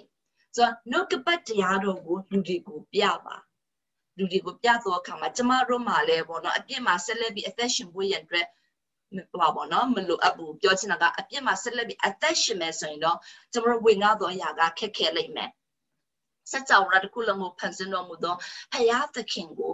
ဘုံတော်ကိုထင်ရှားဖို့ရန်အတွက်ကျမတို့တွေကအလင်းလိုမျိုးထွန်းလင်းဖို့ရန်အတွက်ကျမတို့ဖိတ်ခေါ်တယ်သူပြုလင်ကသည်အကျုံးမရှိပဲလျက်ပြေးသည်မဟုတ်အကျုံးမရှိပဲလျက် ကြိုးစားအားထုတ်သည်မဟုတ်ကြောင်းကိုငါထားရခရစ်တော်၏နေ့ရက်၌ဝါကြွားဝဲများဆင်ရှိလိမ့်မည်ဆိုတော့သခင်ခရစ်တော်ပြရဲ့ယေရှုခရစ်သခင်ခရစ်တော်ပြကျွန်တော်တို့မိခိုအားထားဆွဲကင်ပြီးတော့မှနှုတ်ကပတ်တရားတော်၌ရက်တည်ရဲ့အပြစ်မရှိပဲနဲ့ပေါ့နော်အသက်ရှင်ဖို့ရန်အတွက်ကျွန်တော်တို့ဘုရားသခင်ရဲ့စစ်မှန်သောသားသမီးတွေအနေနဲ့ဖះကိုမသိတော်သူတွေကြားထဲမှာကျွန်တော်အသက်ရှင်သောအခါမှာအဲ့လိုမျိုးထွန်းလင်းခြင်းကဒီလိုမျိုးကြိုးစားအားထုတ်ခြင်းက သခင်ခရစ်တော်ဖះရဲ့နေ့ရက်ရောက်သောအခါမှာအဲ့ဒီအချိန်မှာအဲ့ဒီအချိန်ရောက်မှဝါကြွားပါဒီအချိန်မှာဒါရီလို့လို့ကျမတို့ဝါကြွားစရာအကြောင်းမရှိပါဘူးတခင်ခရစ်တော်ဖះနေ့ရက်ရောက်သောအခါမှာတခင်ခရစ်တော်ဖះကျမတို့ရှေ့တော်မှမှာရောက်ပြီးတော့မှကျမတို့ကိုဆုလက်ဆောင်ပေးသောအခါမှာအဲ့ဒီအချိန်မှာကိုလောက်ခဲ့သောຢာတွေအတွက်ဝါကြွားပါဘာဖြစ်လို့လဲကျမတို့ကိုပေးမဲ့ဆုလက်ဆောင်ကကျမတို့ရဲ့ကျင့်ကြံခြင်းကျမတို့ကြိုးစားအားထုတ်ခြင်းပေါ်မှာမူတည်လိမ့်မယ် ကျမတို့ကဲတင်ခြင်းရတာကယေရှုတော်ကြောင့်ရတယ်ဒါပေမဲ့ကျမတို့ရမယ့်ဆုလက်ကကိုယ့်ရဲ့အကျင့်ကြံပေါ်မှာကိုယ့်ရဲ့လွတ်ဆောင်ကြိုးစားအားထုတ်မှုပေါ်မှာမူတည်နေပါတယ်ကြိုးစားကြရအောင်နှုတ်ကပတ်တရားတော်၌ရက်တည်မယ်ဆိုအပြစ်မရှိဘဲနဲ့အသက်ရှင်နိုင်တဲ့တကူတော်ကိုကျမတို့ကိုပေးထားတယ်ကဲခုနကတော့ငါအချက်ပေါ့နော်ကျမလေးပိုင်းကိုပြန်ပြီးပြောပြန်ပြီးလေ့လာသုံးသပ်ရအောင်ရှင်ပေါလုကတခြားလူတွေကိုဘာရည်တင်စာပေးတယ်လဲနံပါတ်1 ငါကျင့်တယ်လို့ကျင့်ငါဖះမွေးလဲဖះမိုးနိုင်မွေးလျော်တယ်လို့မျိုးလောက်ပါဆိုပြီးလူတွေကိုသူ့ကို dress ပေါ့နော်သူ့ကိုကြည့်ပြီးဆက်နမှုနာသူ့ရဲ့လှုပ်ဆောင်ချက်တွေကိုဆက်နမှုနာအနေနဲ့ကြည့်ခိုင်းတယ်နှုတ်ကပတ်တရားတော်ကိုဆက်လက်ပြီးလေ့လာပါနှုတ်ကပတ်တရားတော်ကိုလေ့လာချင်တိုင်းကြိုးစားပြီးအားထုတ်ပါဒီတိုင်းပြောရရမလုပ်ဘူးမလုပ်ပါနဲ့တကယ်ကိုကြိုးစားအားထုတ်ပါဒုတိယတတိယတစ်ချက်ကဘာပြောထားတယ်လဲ သူတပားတွေကိုလည်းပြန်ပြီးတော့မှဝင်ငါပါငါပြောသလိုလို့ဟုတ်လားငါချစ်သလိုလို့အဲ့လိုမျိုးပြောပြီးတော့ဗောနော်သူတပားတွေကိုပြန်ပြီးတော့မှဒီကိုလိုနောက်ထပ်တရားဖြစ်ဖို့ရန်အတွက်ဗောနော်ပြန်ပြီးတော့မှတိုးပွားပါပြောချင်တာပေါ့နော်ပွားများအောင်ပေါ့နော်လှုပ်လှုပ်ပါအဲ့လိုလှုပ်ဖို့ရန်အတွက်သူတိုက်တွန်းသွေးဆောင်တဲ့နံပါတ်အချက်လေးနံပါတ်၄ပေါ့နော်အချက်နံပါတ်၄ကပေါ့နော်နှုတ်ကပတ်တရားတော်လူသူပါကိုပြသတော့အခါမှာကျွန်တော်တို့ရောက်တိုင်းကလည်း နှုတ်ကပတ်တရားတော်နဲ့အသက်ရှင်ပြီးဆိုရင်အပြည့်မပါတဲ့အသက်တာဘုရားသခင်ကသားသမီးတွေနဲ့အသက်ရှင်ခွင့်ရှိတယ်ကျွန်တော်အပြည့်မှာနင်းမြုပ်စရာအကြောင်းမရှိဘူးလေနော်ဆိုတော့ပြေးပါကြိုးစားပါအားထုတ်ပါကျမတို့ရဲ့ပြေးခြင်းကျမတို့ရဲ့ကြိုးစားအားထုတ်ခြင်းကအလဟာသမဖြစ်ဘူးအလင်းတရားအနေနဲ့ကိုရှိတော်နေရာမှာဆက်လက်ပြီးတော့မှထွန်းလင်းပါမိဂနဘကို ရှေးဝတ်တင်တော်များအတွင်ရှင်ပေါလုဤလက်ကျင့်တင်ကြားပေးခြင်းရလက်မှာဘာတွေဖြစ်ခဲ့တယ်လဲဆိုရှေးဝဘိုင်မောနော်ခရိယအသင်းတော်မှာရှင်ပေါလုရဲ့သွန်သင်ပေးမှုကြောင့်ဘာဖြစ်ခဲ့တယ်လဲတမန်တော်ခန်းကြီး19အငယ်8ကနေ10မှာရှင်ပေါလုသွားတယ်သူတရားစရက်မှာ3လပတ်လုံးဘာလုပ်တယ်လဲဆိုတော့ဘုရားသခင်နိုင်ငံတော်နဲ့ပတ်သက်တဲ့အကြောင်းကိုဆွေးနွေးတယ်နီးနောတယ်ဖျားယောင်းတယ်သွေးဆောင်တယ် ပြောချင်တာတော့ပေါ့နော်လူတွေသခင်တို့ပြောင်းလက်ခံဖို့ရန်အတွက်ဆွေးနွေးမှုတွေအရင်လုပ်တယ်ဘယ်နှလလဲ3လအချိန်ပေးတယ်အဲ့လိုမျိုးပေါ့နော်သူရရရဟောပြောတယ်ဆွေးနွေးတယ်ဟိုပါပေါ့နော်လူတွေနဲ့ရင်းနှီးအောင်သူလုပ်တယ်လူတွေကမယုံကြည်တဲ့အခါမှာရှင်ပေါလုဘာလုပ်ခဲ့တယ်လဲရှင်ပေါလုကသူတို့အထဲကနေထွက်ပြီးတော့မှသူ့ရဲ့အတူတူလိုက်လာတဲ့သူ့ရဲ့တပည့်တော်တွေကိုသီးခြားခွဲထားလိုက်တယ် ရှင်ဘောလူကသူနဲ့အတူပါလာတဲ့တပည့်တော်တွေသီးခြားခွဲထားလိုက်တယ်အဲ့ဒီမှာဘာလို့ဆိုတော့ဘောနော်သူရနုအမည်ရှိတော်သူရဲ့စာသင်စရနိုင်နှစ်နှစ်ပတ်လုံးဟောပြောတယ်သူသင်တန်းပေးတယ်နှစ်နှစ်ပတ်လုံးသူရနုရဲ့စာသင်စရမှာသင်တန်းပေးတယ်အဲ့တပည့်တော်တွေကိုသင်တန်းပေးတယ်ဆိုရှင်ပေါလုကသူ့အားဖြင့်ပဲဒီဘုရားသခင်သာသနာတော်ကိုကျေပြောင်းသူလုပ်တာခမဟုတ်ဘူးသူ့မှာတပည့်တွေရှိတယ် သူသူသင်လိုက်တဲ့သူ့ရဲ့တပည့်တော်တွေကိုသူဘာလို့လဲနှစ်နှစ်ပတ်လုံးသူသူသင်ပေးတယ်ပြီးရင်အဲ့တပည့်တော်တွေကနေတဆင့်အာရှိပီယူဒာပီဟေလသပီဘောနော်ဟေလသလူမျိုးတွေအကုန်လုံးကဘုရားသခင်နှုတ်ကပတ်တရားတော်ကပြည့်နှံ့သွားတယ်ဆိုကျမတို့ရောက်တိုင်းနေတပြည့်တော်တွေကိုတီးခြားအချိန်ပေးပြီးတော့မှသူတို့ဘောက်ပြင်နေပြီးတော့မှသင်ယူပေးရတော့အရာလုပ်ဖို့ရန်အတွက်အဲ့လိုမှပဲအရေးကြီးတယ် အဲ့လိုမျိုးလုပ်မှပဲချင်းမိုင်ကင်ဘရာစင်ကာပူရန်ကုန်မြို့ Indianapolis မြို့မလို့ရှိရင်ပေါ့နော်ဒီ Florida မှာရှိသောမြို့တွေကဒီအကုန်လုံးဘုရားသခင်ရဲ့ကုပ္ပတရားတို့ကြားရတော့ခွင့်ရှိလိမ့်မယ်ဆိုတော့ကျမတို့ဘုရားသခင်ခေါ်တဲ့အကြောင်းရင်းသိဖို့လို့အရင်အရင်လိုအပ်ပါတယ်ကဲရှင်ပေါလုသွန်သင်လိုက်တဲ့အရာကြောင့်သူရဲ့တပည့်တော်တွေကနေတစ်စက်ဘယ်လောက်ထိကျေပြန့်သွားသလဲဧဝံဂေလိတဲ့စကားက မာကေဒေါနီပြည်ရောက်သွားတယ်အခါယပြည်ကိုရောက်သွားတယ်နောက်ဆုံးအပိုင်းမှာဗာပြောတယ်လဲဆိုတော့ဘုရားသခင်ကိုသင်တို့ယုံကြည်ခြင်းဤသတင်းသည်အယယတို့နိုင်နှံ့ပြလေ၏ဆိုတော့ဤတပြည့်တော်ကနေပြီးတော့မှပြန်ပြီးတော့မှနှုတ်ကပတ်တရားတော်ကိုသူတို့နဲ့အတူသူတို့ကကိုယ်တိုင်အသက်ရှင်တဲ့ရက်တည်တဲ့ဝင်ငါတဲ့ဟောပြောသောအခါမှာခုနကတော့ကျွန်တော်တို့ပြောခဲ့တဲ့အာရှိပြည်ယူဒာပြည်ဟေလသ မှာဟေလသမှာရှိသောသူတွေအကလုံးကြားရတာတော့မကသေးဘူးလူဖြစ်သွားတယ်မာကေဒေါနီအခါယအရရက်ပြန့်နှံ့သွားတယ်ကဲမိကုနံပါတ်30ရှင်ပေါလုသည်သူတပြည့်တော်များအဖြစ်လက်ကျင့်တင်ကြားခဲ့သောသူတို့ကိုလက်ကျင့်ပေးသောသင်ခန်းစာများနဲ့ဘာတွေလုပ်ဖို့ရန်အတွက်သူမျှော်လင့်ခဲ့တယ်လဲရှင်ပေါလုကသူလက်ကျင့်တင်တန်းပေးခလိုက်တဲ့သူ့ရဲ့တပည့်တွေတင်တန်းသားတွေကိုနောက်ထပ်သူတို့ဘာလုပ်ဖို့ရန်အတွက် ခိုင်းခဲ့တယ်လဲမမီတလားနိတိမောတေခရင်နေအငယ်နဲ့ကျမတို့ဘာပြောခဲ့တယ်လဲသစ္စာရှိတော်သူတွေကိုပြန်လည်ပြီးတော့မှသွန်သင်ပေးဖို့ရန်အတွက်ကျမတို့ရဲ့လူချင်ချက်နိတိမောတေခရင်နေအငယ်နဲ့ သူစီကနေကြားခဲ့သောအရာတွေကိုတက်တက်ခံချက်တွေကိုသူတပားတွေကိုပြန်လှည့်ပြီးသူတပားကိုရွေးသောအခါမှာသစ္စာရှိသောသူတွေကိုရွေးပါအဲ့ဒီသစ္စာရှိသောသူတွေကသူတပားကိုလက်ဆင့်ပြန်ပြီးကမ်းနိုင်သောသူတွေကိုရွေးပါအဲ့ဒါကြောင့်မို့ကျမတို့တပြည့်တော်ဖြစ်ဖို့ရန်အတွက်ရွေးချက်သောအခါမှာအလိုမှပဲအရေးကြီးတဲ့အချက်တွေရှိတယ်ဘယ်လိုလူတွေကိုရွေးချက်ဖို့ရန်အတွက်လိုအပ်တယ်လဲကျမတို့အခုဆက်လက်ပြီးလေ့လာမယ်နော်ကဲစက်တင်မှာ ရှင်ပေါလုရဲ့သာသနာပြုခြင်းဤစနစ်သခင်ခရစ်တော်ဘုရားရဲ့သာသနာပြုခြင်းဤစနစ်ကတူသလားတူပါတယ်သခင်ခရစ်တော်ဘုရားသာသနာပြုခြင်းစနစ်နဲ့ရှင်ပေါလုသာသနာပြုခြင်းစနစ်ကတူညီတယ်အဲ့ဒါဆိုရင်ဒီဧဝံဂေလိသတင်းစကားနဲ့ပေါ့နော်ဒီကျမတို့တွေကပြေဝဖို့ရန်အတွက်ဤဧဝံဂေလိစကားကျမတို့လေ့လာခဲ့သောဤဧဝံဂေလိသတင်းစကားကို ဒီဓမ္မတိကျမ်းမှာကျမတို့ကြားနာခဲ့ဤသတင်းစကားဤကျမတို့အသက်တာမှာပြေဝဖို့ရန်အတွက်ကျမတို့ဘာလုပ်ဖို့လိုအပ်တယ်လဲကျမတို့ကိုယ်တိုင်လည်းသူတစ်ပါးကိုပြက်နေပြီးတင် जा ပေးဖို့ရန်အတွက်အလုံးမပင်လိုအပ်ပါတယ်ကိုဖះကိုစက္ကန့်အနံနဲ့အရာကိုယေရှုပြည့်ရေးချထားပေးပါကဲမိကုနံပါတ်7မှာသင်ဒီအရေးအတွဲတိုးပွားခြင်းရဲ့အထူးပေါ့နော်ဒီဝိညာဉ်သာသနာပေါ့နော်သာသနာပြုခြင်းကိုအခြားသူတွေရဲ့အသက်တာအားယဉ်နှီးမှုအဖြစ် ဘာဘာပြောတယ်လဲကိုကယင်းနေကိုရဲ့အချိန်ကိုကယင်းနေရမယ်ခုကိုတုံတင်သွန်သင်ထားခဲ့ရသောအရာတပြည့်တော့ဖြစ်တဲ့နေ့မှာကျွန်တော်သင်ခဲ့တဲ့အရာကိုသူတစ်ပါးကိုပြန်ပြီးသင်ပေးသောအခါမှာကျွန်တော်ရဲ့အချိန်ကိုကျွန်တော်တို့ကယင်းနေရမယ်ဆိုတော့ဘယ်လောက်ထိကျွန်တော်တို့ယင်းနေနိုင်တယ်လဲဘယ်လောက်ထိယင်းနေဖို့ရန်အတွက်ဘုရားသခင်ကိုကြည်ကိုပြုနိုင်တယ်လဲအဲ့ဒီအရာကိုကိုယ့်ရဲ့ဆွတ်တောင်းချက်တဲ့မှာအတူချုံပြီးတော့မှရေးထားပြီးပြီလား ရေးဖို့ရန်အတွက်ကျမအားပေးပါတယ်ဆိုတော့ဤမှာရှိတော်ပေါ့နော်ဘုရားသခင်ရဲ့သားသမီးတွေကိုကျမအားပေးချင်သောအရာကကိုရောဘုရားဒီကနေ့ကျမသွန်သင်ကျမလစ်လာခဲ့သောအရာကျမလစ်လာခဲ့သောအရာတွေကိုသူတစ်ပါးကိုပြန်ပြီးတော့မှသွန်သင်ဖို့ပို့ရန်အတွက်ကျမကိုဒီနေ့ပြင်ဆင်တော်မူပါကျမလူတင်လေ့လာခဲ့တဲ့အရာတွေကိုလည်းသူတစ်ပါးကိုပြင်ပြီးတော့မှဝေငှပါမယ် လို့ကိုကိုကိုကတိဝန်ခံချက်ပေးချင်တော့သူတွေရှိတယ်ဆိုရင်ကျေးဇူးပြုလက်ထောင်ပေးပါကိုရောဖျားအခုကျမသင်ခဲ့တဲ့အရာကိုပဲသူတစ်ပါးကိုပြင်ပြီးသင်ပေးမယ်ကျမဖျားရှိမှကတိကိုပြုပါတယ်ယေရှုတင်ပါတယ်ဖျားရှင်ကောင်းကြီးပေးပါစေဆိုတော့အလုံးမပဲရေးကြည့်တယ်ကိုသင်ခဲ့တဲ့အရာကိုသူတစ်ပါးပြန်မသင်ပေးနိုင်သေးဘူးဆိုရင်ပေါ့နော်ကျမတို့ရောက်တိုင်ကတစ္ဆာရှိတော်သူတွေမဟုတ်သေးလို့ပဲလေနော်ဆိုတော့ဆက်ပြီးဆွတောင်းရအောင်ကဲလက်တွေ့အကြံပြုချက်အလုံးမပဲရေးကြည့်တယ်လေနော်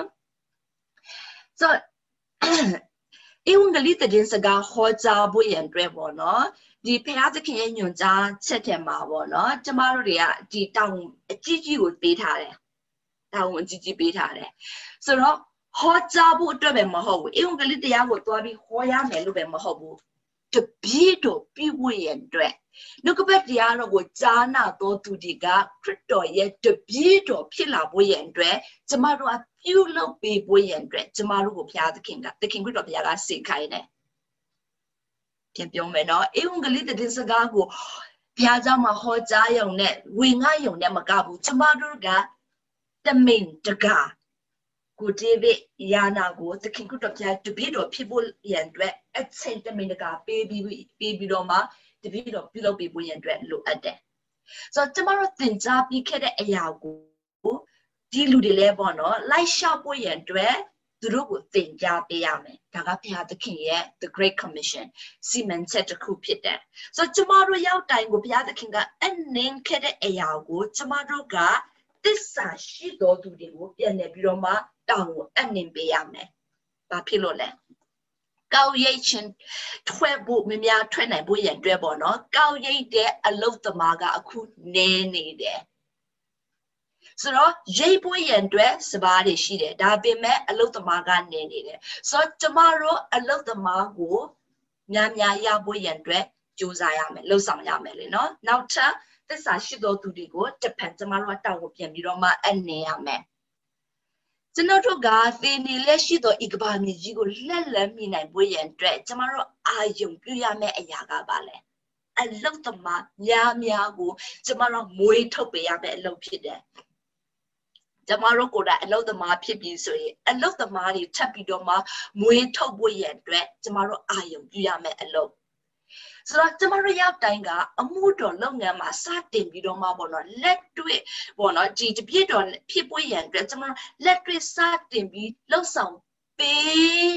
နိုင်မယ်ဆိုရင်ကျမတို့ပေါ့နော်စတင်ပါပြောချင်တာကမိတ်ဆွေတွေပေါ့နော်တစ္ဆာရှိတဲ့လူဖျားတရားဟိုပေါ့နော်စိတ်ဝင်စားလို့ရှိရင်ကျမတို့စတင်ပေးရမယ့်လူတွေနဲ့ပေါ့နော်စတင်ပေးပါအဲ့ဒီကနေပြီးတော့မှကျမတို့ကိုယ်တိုင်ဝိညာဉ်ရေးရကြီးထွားလာမယ် ကြီးထွားလာသောအခါမှာခုနကတော့ကိုကိုယ်တိုင်ဝိညာဉ်ရေးရကြီးထွားလာမယ်မိတ်ဆွေတွေမိတ်ဆွေတဦးနှစ်ဦးနဲ့စပါလိုက်ပြီးတော့မှရှာပါဆိုတော့ကျမတို့ရဲ့ဝိညာဉ်ရေးရကိုပြန်နေပြီးတော့မှ lesson ကန်ဖို့ရအတွက်ဖြစ်တယ်လေနော်ပြီးတဲ့ခါကျလို့ရှိရင်ကဲလူရှာပြီးတယောက်နှစ်ယောက်ရှာပြီးကျမတို့ကဟောပြောခြင်းနဲ့မပြီးဘူးလေနော်တပြည့်တော်ဖြစ်ဖို့ရန်အတွက်လုပ်သောအခါမှာသစ္စာရှိသောသူတွေကိုရှာပါသစ္စာရှိသောသူတွေကိုရှာသောအခါမှာတယောက်ဟုတ်မယ်နှစ်ယောက်ဟုတ်မယ် အဲ့လိုလူတယောက်နှစ်ယောက်ကိုရှာပါပြီးတဲ့ခါကျရင်ဘာစီမံချက်လုပ်မှာလဲသူတို့တွေနဲ့ရှင်းနေအောင်လုပ်ပါရင်းနေပြီးရင်ဟောဘောနော်ဒီလူတွေကိုရင်းနှီးအောင်လုပ်ရတာကဟိုတော်တော်အချိန်ပေးရတယ်လေနော်ပြောချင်တာကသူရဲ့ဘဝမှာသူဘာတွေလုပ်နေတယ်လဲအပြစ်တရားတွေတစ်ခုခုနဲ့သူကချီနှောင်ခြင်းခံရနေသလားလုပ်ပါသိအောင်လုပ်ပါသူ့ကိုသိအောင်လုပ်ပါပြီးကိုသင်ထားတဲ့အရာကိုပဲပြန်ပြီးတော့မှသင်ပေးပါ ကဲလူတွေဘယ်လိုရွေးချယ်ရမှာလဲအလုံးမပင်ရေးကြည့်တယ်နော်တပိတော့ဖြစ်ပွဲရန်အတွက်ကိုသုံးသင်ပေးတော့သူကဘယ်လိုလူမျိုးဖြစ်ဖို့လဲကိုမရွေးချယ်ခင်မှာဆွတ်တောင်းပါဆွတ်တောင်းပြီးတော့မှတပိတော့ပြုတပြည့်တော်ပြုတ်ခြင်းပေါ့နော်လက်လာဖို့ရန်အတွက်စိတ်ဝင်စားမဲ့ပုံကိုတူကိုတည်နိုင်ဖို့ရန်အတွက်ဘုရားသခင်စီကနေပြီးတော့မှအကူကြီးတောင်းပါဆွတ်တောင်းပါဆွတ်တောင်းပါဘာဖြစ်လို့လဲသခင်ခရစ်တော်ဘုရားကိုတော်တိုင်တပြည့်တော်12ပါးကိုသူဟောပေါ့နော်မရွေးချယ်ခင်မှာသူဆွတ်တောင်းခဲ့တယ် သူဆွတ်တောင်းခဲ့တယ်သူလက်ကျင့်သင်ခြင်းကြားပေးနိုင်ဖို့ရန်အတွက်ပေါ့နော်သခင်ခရစ်တော်ဘုရားကိုတော်တိုင်ကဆွတ်တောင်းပြီးမှရွေးချယ်တယ်ဆိုတော့ကျမတို့တပြည့်တော်ဖြစ်ဖို့ရန်အတွက်ရွေးချယ်တော်သူတွေချက်မှာဟောပေါ့နော်မမိသလားသခင်ခရစ်တော်ဘုရားကသူနဲ့အတူသူ့ရဲ့အမှုတော်မှာလှုပ်ဆောင်မဲ့အသူရဲ့မိသားစုဝင်တွေမရှိဘူးဟိုပါပေါ့နော်ပြီးရင်သခင်ခရစ်တော်ဘုရားကိုလိုတိုင်ကသူ့မှာ family ပေါ့နော်မရှိဘူးအချိန်ပြည့်ပေါ့နော်အလောက်ကင်ဟိုပါပေါ့နော်ဒီ ဒီလူတွေသာသနာတက်လက်တီထွားဖို့ရန်အတွက်အင်္ဂလိပ်သတင်းစကားကျေပြန့်ဖို့ရန်အတွက်သူလူတွေကိုရွေးချယ်သောအခါမှာဒီလူတွေကအချိန်ပြည့်လောက်အောင်မှာဆိုတော့အဲ့လူတွေအတွက်ဘာလို့တလဲတညလုံးစွတ်တောင်းတယ်ဆိုတော့ကျမတို့လည်းပေါ့နော်တပြည့်တော်ဖြစ်ဖို့ရန်အတွက်ရွေးချယ်မဲ့လူပြောချင်တာဆုံးတင်ပေးမဲ့လူတွေစွတ်တောင်းပါစွတ်တောင်းပါကျမတို့လူကခရင်ချောင်းရဲ့စနစ်ဆက်သုံးကိုကြည့်မယ်ဆိုရင်ပေါ့နော်ဒီရွေးချယ်မှုနဲ့ပတ်သက်ပြီးတော့မှကျမတို့ ကကောင်းမှုစွာသင်ခန်းစာယူနိုင်မှာဖြစ်ပါတယ်ပြီးတဲ့ခါကျလို့ရှိရင်ကျမတို့ယဉ်နေတဲ့မိတ်ဆွေတွေပေါ့နော်ဒီယဉ်နေမှုကိုအသုံးပြုပါပါတော့လေတပြည့်တော်ဖြစ်အောင်လုပ်ပေးဖို့ရန်အတွက်ရွေးဟပါပေါ့နော်ဘာလုပ်ပေးဖို့လို့တလဲဆိုတော့ယဉ်နေမှုကိုအသုံးချပါလို့ပြောတော့ခါမှာပေါ့နော်တကယ်ချင်းကျွန်တော်ကျမလေ့လာခဲ့တဲ့ຢာကကျွန်တော်ကျမရဲ့ဝိညာဉ်ရေးအတွက်အလုံးမပင်ကောင်းတယ်တကယ်ချင်းလေ့လာချင်သလားဆူတောင်းပေးပြီးတဲ့အခါမှာသူ့ကိုမေးပါပြီးတဲ့အခါကျရင်ရွေးချယ်သောအခါမှာနံပါတ်1အ င်္ဂလိပ်စကားက fast လေနော် F A S T ဆိုတော့နံပါတ်1သစ္စာရှိခြင်း F က faithful လို့ပြောတယ်မှတ်မိသလားအများတန်းကျွန်မပြောခဲ့တယ်လေနော်သစ္စာရှိသောသူကိုရွေးပါသစ္စာရှိသောသူကဘယ်လိုလူလဲကိုပေးအလိုက်တဲ့တောင်ဒီတစ်ပတ်တာပြီးအောင်လုပ်တော့လို့ပြောသောအခါမှာကိုပေးအလိုက်တဲ့တောင်ကိုပုံမှန်ထမ်းဆောင်နိုင်ဖို့ရန်အတွက်ပြီးအောင်လုပ်ဆောင်နိုင်မဲ့လူကိုရွေးပါ ဖះအတွက်အချိန်ပေးနိုင်တော့သူအားလက်တဲ့သူတွေဖះအတွက်အချိန်ပေးနိုင်တဲ့အားလက်တဲ့လူကိုရွေးချယ်ပါဖះသခင်တွဲမိမိရဲ့အချိန်ကိုတွဲပြီးတော့မှပေးနိုင်တဲ့လူအဲ့လူကိုရှာပါနောက်တစ်ခုကပါလဲဆိုတော့ဝိညာဉ်ရေးရာ တမကျမ်းစာကိုပေါ့နော်အသက်တာ၌ကျမ်းစာကိုအလယ်ပုခုထားတော့သူကိုရဲ့အတွေးအခေါ်လူတွေရဲ့အတွေးအခေါ်ကိုဟိုဘယ်လိုပြောမလဲဟိုဘေးချိတ်ပြီးတော့ပေါ့နော်ဖျားသခင်မြတ်ကပတ်တရားတော်ကိုမိမိအသက်တာရဲ့အလယ်ပုခုအနေနဲ့ထားနိုင်သောသူကိုရွေးချယ်ပါနံပါတ်၄သင်ယူမှုပြုနိုင်သောသူပြောချင်တာကအတိအစမ်းပေါ့နော်ကျန်းစာထက်မှသူတင်ရခဲ့တယ်တချို့ကအော်အဖိုးအဖွားတွေလို့တင်ပေးတယ်ဒါကိုပဲဆွဲတယ်အသိကိုသူကလက်မခံတော့ဘူး ဆိုတော့ဒီမှာပေါ့နော်တပြည့်တော့ဖြစ်တင်ကြသောအခါမှာကျန်းစာထက်မှဖော်ပြမဲ့သွန်သင်ချက်တွေကိုဟိုတွေကိုပေါ့နော်ဒီခါမှမသိတရားသေးတဲ့အရာတွေကိုလက်ခံနိုင်သောသူသင်ယူမှုကိုပေါ့နော်ပေးတဲ့အကြံဉာဏ်တွေကိုလက်ခံနိုင်တဲ့လူကိုရွေးချယ်ပါလေးခုတစ္ဆာရှိသောသူအဖျားအတွက်ချိန်ပေးနိုင်တော်သူဖျားတရားပဲမှာပေါ့နော်ဒီစိတ်ဝင်စားမှုရှိတော်သူသွန်သင်လို့ရတော်သူကိုရွေးချယ်ပါ နောက်တစ်ခုဘယ်လိုလူကိုရှောင်ရမလဲဘယ်လိုလူကိုရှောင်ရမလဲဆိုတော့ဖျားမကြိုက်တဲ့အကျင့်စရိုက်တွေကိုမဆုံးလွန်ချင်တဲ့လူကိုထားလိုက်ပါပြောချင်တာပေါ့နော်ဒါအပြစ်နဲ့ပြည့်ဝတာပေါ့နော်ဆိုတော့အပြစ်တရားကိုမဆုံးလွန်နိုင်တဲ့လူနောက်တစ်ခုကပြင်းတဲ့လူ။အော်ဘာဖြစ်လဲဖြစ်လဲပြင်းတယ်မလုပ်ချင်ပါဘူးပေါ့နော်။အရင်ပြင်းတဲ့လူတွေအလုပ်တစ်ခုပြင်းမြောက်ဖို့ရန်အတွက်အားထုတ်ချင်စိတ်မရှိတော့သူငပြင်းတွေကို မရွေးပါနဲ့။နောက်တစ်ခုကတယူဆန်တဲ့လူ။တချို့ကပေါ့နော်။ဟိုရဲ့ဟိုရဲ့အကျင့်ကြမှာပဲအသားလေးသိနေတယ်လုံးဝမပြောင်းလဲချင်တဲ့လူတယူဆန်တဲ့လူတွေကိုထားလိုက်ပါ။လောကရဲ့နီလန်းမှာထုံနေတဲ့လူတွေပြောချင်တာကခစ်ဆန်တယ်လောကမှာစားသလိုတောက်ချင်သလိုဒီတိုင်းပဲပေါ့နော်လောကပျော်မွေ့ခြင်းနဲ့ရှိနေသောသူတွေကိုထားလိုက်ပါဘာဖြစ်လို့လဲဤလူတွေကပေါ့နော်ဟိုလောကရဲ့ ဟိုအသက်ရှင်ခြင်းပေါ်မှာသူမဲ့မောနေတယ်သူရွယ်ချက်ပန်းနိုင်ကပတ်စံများရမယ်ကြွားချမ်းသာလုပ်မယ်ဆိုတော့ပေါ့နော်ဒီနှုတ်ကပတ်တရားတော်မှာသူကတိတ်ပြီးတော့မှအချိန်မပေးချင်ကြဘူးဆိုတော့အဲ့လူတွေကိုလုံးဝလွတ်ပြရမယ်လို့ပြောတာမဟုတ်ဘူးပေါ့နော်ပြောချင်တပြည့်တော့ဖြစ်ရွေးချက်သောအခါမှာဟိုတတိထားရမယ့်အရာတွေကိုပေါ့နော်စဉ်းစားဖို့ရန်အတွက်ဖြစ်တယ်ပြီးတဲ့အခါကျလို့ရှိရင်တောင်းဝင်နဲ့အနှင်ရမယ်လေနော်ကျမတို့တောင်းဝင်အနှင်သောအခါမှာဘာကိုပြောတာလဲမမိတလား survivor skill ပထမဆုံးအပတ်စဉ်က level 1မှာရှိတဲ့အပတ်စဉ်ဟောပေါ့နော်၅ခုအသက်ရှင်ခြင်းတန်စားပလားဒီရိုးရိုးအပတ်စဉ်သင်ခန်းစာဒီ၅ခုနဲ့ပဲစပါတကယ်ချင်း၂ယောက်၃ယောက်ဖွဲ့ဖွဲ့ပြီးတော့မှဒီ level 1ကိုစတင်ပါအဲ့စာရွက်တွေမရှိဘူးပြောင်းသွားတယ်ပြန်တင်ပေးဖို့လိုမယ်စင်ကျွန်မပြောလေနော်အဲ့စာရွက်ကိုပြန်ပြီးပေးမယ်နောက်တစ်ခုအခုကျမတို့ပြီးမဲ့ basic training ကိုလည်း နောက်ထပ်တစ်ယောက်ကိုပြန်ပြီးသင်ပေးပါ level 2မှာကျမတို့သင်ခဲ့ပြီးခဲ့တဲ့အရာကိုနောက်ထပ်တစ်ယောက်ကိုသင်ပေးပါသူများသင်သောအခါမှာနည်းနည်းရဝလို့သလားဟိုဆွတ်တောင်းသောအခါမှာ delay အတိုင်းမောလို့ဘလို့ဆွတ်တောင်းရမယ်ပြောသောအခါမှာကိုကိုတိုင်ကမချစ်ဘူးကိုကိုတိုင်မလုပ်ဘူးဆိုရင်သူတစ်ပါးကိုပြန်ပြီးသင်ရတာအရင်ခက်လိုက်တယ်အဲ့ဒါကြောင့်မလို့အချိန်ယူပါကိုကိုတိုင်ပေါ့နော်လက်တွေ့အသားကျအောင်ပေါ့နော်လုပ်ပါ ပြီးရင် level 3က tentative လို့ခေါ်တယ်ဒါကအုပ်စုလိုက် view ဟာနေအဲ့ဒါကပေါ့နော် level 3မှာကျွန်တော်တို့သင်မယ်ပြီးရင်ပေါ့နော်ဒီလိုမျိုးအောက်စုနှစ်ယောက်ဟိုရှာတယ်နှစ်ယောက်ကတယောက်ကိုပြန်တင်တယ်မဟုတ်လို့ရှိရင်နှစ်ယောက်ကတယောက်ကိုတင်တာပေါ့နော်အဲ့လိုလုပ်ပြီးတော့အခါမှာထိချမှုရှိလိမ့်မယ် အမြဲတမ်းမှတ်ထားပါဤလူငယ်တစ်တစ်လေးတယောက်ကနေပြီးတော့မှလူအယောက်တစ်ထောင်ကိုပွားလာမယ်ဘာဖြစ်လို့ဆိုကိုတင်လိုက်တဲ့လူကသူ့ဘေးနာကလူတွေကိုပြန်ပြီးဆက်ပြီးတင်ပေးလိုက်မယ်အဲ့ဒီရွယ်ချက်နဲ့တင်တယ်လေနော်ဆိုတော့ပွားလာလိုက်မယ်လေနော်ပြီးတဲ့ခါကြလို့ရှိရင်ကျမတို့ကတပြည့်တော်ဖြစ်အောင်ပြုလုပ်သောအခါမှာအလုံးမပင်အရေးကြီးသောအရာသူတစ်ပါးကိုပြောသောအခါမှာသူတစ်ပါးကိုသင်ပေးသောအခါမှာ ဒီအရာအလုံးမပင်အရေးကြီးတယ်။ဘာပြောတယ်လဲနီလန်ဤနီလန်ကိုသူတစ်ပါးကိုသင်ပေးဖို့ရန်အတွက်အလုံးမပင်အရေးကြီးတခုခုကျမတို့သွန်သင်သောအခါမှာဘာကြောင့်ပေါ့နော်ဘာကြောင့်ဘာကြောင့်လဲလို့ပြောသောအခါမှာကျမ်းစာကပြောပါခုကျမစွန်တင်ပေးလိုက်တဲ့အရာကကျန်းစာကနေပဲသင်ပါကျမရဲ့ထင်မြင်ချက်ကျမအသင်းတော်ကဒီလိုသင်တယ်ဘယ်တော့မှမပြောပါနဲ့ကျန်းစာကနေပဲသင်ပါပြီးတဲ့ခါကျရင်သူတို့ကိုကိုယ်တိုင်ပြပါကိုယ့်ရဲ့အသက်တာကိုယ့်ရဲ့စနမူနာအနေနဲ့ ပြပါကျမကျန်းစာသင်ပေးတယ်ဒီလူကဒီလိုပြောင်းလဲလာတယ်ဆိုတော့ကိုယ့်ရဲ့ လက်တွေ့အသက်တာကရှိဖို့လိုအပ်တယ်ဆိုတော့ဘောနော်ကိုယ့်ရဲ့အသက်တာကနေပြီးတော့မှလက်တွေ့သူတို့ကိုပြပါကျွန်ုပ်ဘာလုပ်နေတယ်လဲဆိုတာကိုသူတို့ကိုပြပါပြီးတဲ့ခါကျလို့ရှိရင်သူတို့စားနိုင်တဲ့လောက်လေးကိုပေါ့နော်ဥပမာကျန်းစာသင်ပေးတယ်ဆိုရင်ဥပမာနိုင်ဝဲလောက်ပဲအချိန်ပေးနိုင်တယ်ဆိုရင်နိုင်ဝဲလောက်ပဲသင်ပေးပါအများကြီးအကုန်လုံးအကုန်လုံးသင်ပေးတာမျိုးမလုပ်ပါနဲ့စတင်တဲ့ သူတို့ကိုစတင်ပေးလိုက်ပါသူတို့စားနိုင်တဲ့လောက်လေးကိုပဲစီမံကိန်းလေးတွေပေါ့နော်ပေးပါပြီးရင်သူတို့စိုက်ပြီးတော့မှလုပ်ဖို့ရအတွက်ကိုကတငယ်ချင်းကျန်းစာဖတ်နေတာဘလို့လဲတငယ်ချင်းအခုဆက်လက်ပြီးလေ့လာတာဘလို့လဲအမြဲတမ်းတာဝန်ယူတဲ့စိတ်ဆိုတာပေါ့နော်သူဆက်လက်ပြီးကြီးထွားဖို့ရအတွက်ကိုတပြည့်တော်ဖြစ်အောင်လုပ်ပေးလိုက်တဲ့ပုံကိုတယောက်ကသူဘလို့ဆက်သွားနေတယ်လဲခုလက်ရှိဘလို့ဖြစ်နေတယ်လဲ ဆက်ပြီးသွားဖို့ရန်အတွက်ပေါ့နော်သူအစဉ်ပြေရလားအမြဲတမ်းအမြဲတမ်းတိုက်တွန်းပေးပါနိုးစော်ပေးပါဒီလူတကယ်ကို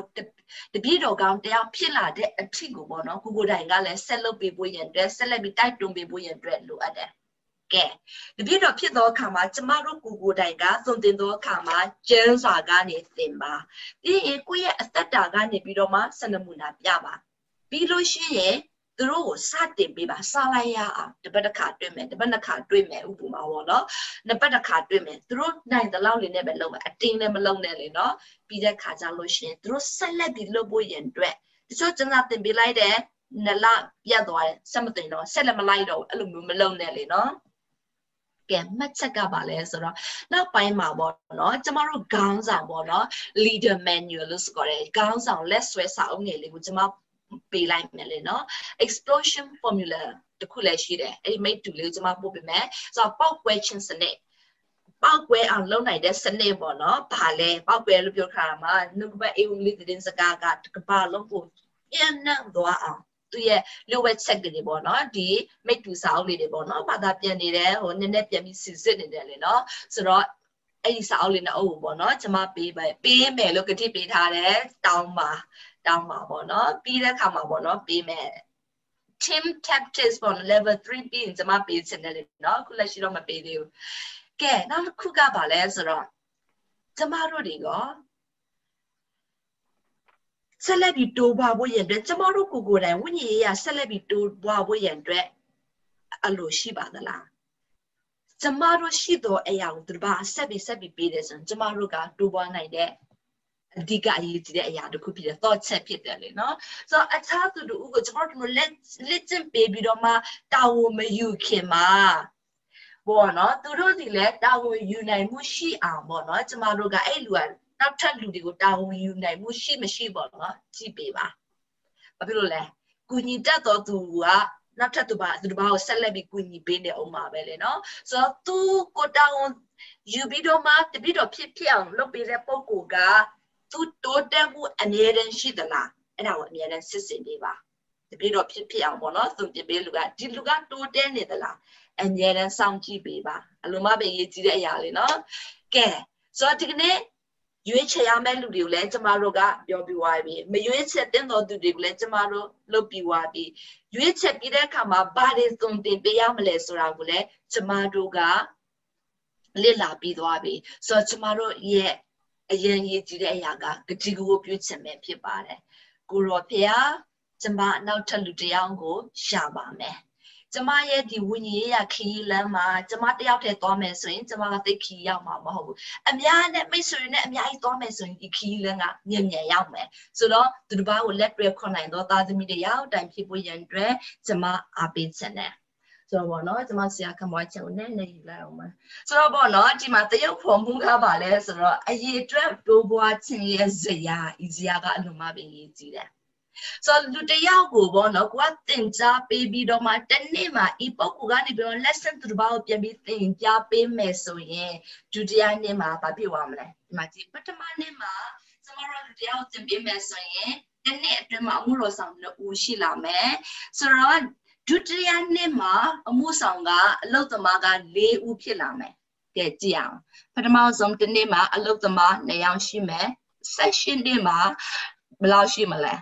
2,6,2144ဆိုတော့နှစ်နှစ်မှာနှစ်နှစ်မြောက်မှာအလုပ်သမား၄ဦးသုံးနှစ်မြောက်မှာ၈ဦးလေးနှစ်မြောက်မှာအလုပ်သမားက16ဦးငါးနှစ်မြောက်မှာ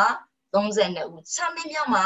အလုပ်သမား64ဦး 9နှစ်မြောက်မှာအလုပ်သမား128ဦး10နှစ်မြောက်မှာ256ဦး9နှစ်မြောက်မှာ912ဦး10နှစ်မြောက်မှာ1024ဦး17နှစ်မြောက်မှာ2048ဦး12နှစ်ဆိုရင်အလုပ်သမား4096ဦးဖြစ်သွားလိမ့်မယ်ကိုသင်ပေးလိုက်တဲ့လူကလည်းနောက်ထပ်သူများပြန်တင်ပေးတယ်သူတို့သင်ပေးလိုက်တဲ့လူကလည်းသူတို့များဆက်ပြီးပြန်ပြီးသင်ပေးတယ် လူဝက်ချက်ကဒါဖြစ်တယ်အားကြောင့်လို့အိမ်မှာရှိသောဘုရားသခင်သားသမီးရောက်တိုင်းတပြည့်တော်ဖြစ်ခြင်းကိုဆက်လက်ပြီးအလုပ်လုပ်ပါသူတပါးကသူတစ်ပါးကိုပြန်ပြီးသင်ပေးနိုင်သောသူတွေကိုတပြည့်တော်အနေနဲ့ယူဝေးချက်ပါနှုတ်ကပတ်တရားတော်ကိုခံယူသောသူတွေကိုဆက်လက်ပြီးလေ့လာပါ fast သစ္စာရှိသောသူတွေဘုရားအတွက်ချိန်ပေးနိုင်သောသူတွေဘုရားတရားကိုစိတ်ဝင်စားသောသူတွေစွန့်တင်လို့ရသောသူတွေကို ရွေးချက်ပါကျမတို့ပေါ့နော်ကိုကိုတိုင်းစက်မှန်သောတပည့်တော်တွေဖြစ်ပြီးသူတစ်ပါးအားပြန်လည်ပြီးဝင်ကားနိုင်သောသူတွေရောက်တိုင်ဖြစ်ဖို့ရန်အတွက်ဒီကနေ့ကျွန်မအားပေးခြင်းနဲ့ကျွန်မဝင်ကားပေးခြင်းနဲ့ဆိုတော့မေးစရာမေးခွန်းတွေရှိသလားမသိဘူးဒီနေ့သင်ပေးလိုက်တဲ့အရာနဲ့ပတ်သက်ပြီးတော့မေးစရာမရှိဘူးသူပြုံးနေတယ်လေနော်ပြုံးနေတယ်ဆိုတော့မေးစရာမရှိဘူးဆိုတော့လက်တွေ့ပဲလုပ်ဖို့အရေးကြီးတယ်လေနော်ဆက်လက်ပြီးလက်တွေ့လုပ်ပါ အဲ့ဒီကနေရလာတဲ့အကျိုးအမြတ်ကမနေဘူးမနေဘူးဆိုတာပေါ့နော်ဆက်အားပေးခြင်းနဲ့တပြေတော်ဖြစ်လို့ပေါ့နော်ကျွန်တော်တို့သွန်သင်ပေးလိုက်တဲ့အရာကိုကိုတိုင်ကဥ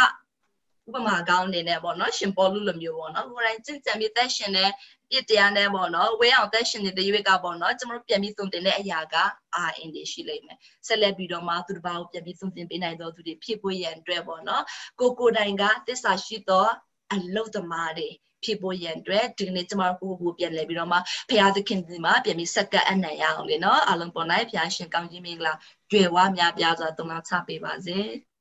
အာမင်အာမင်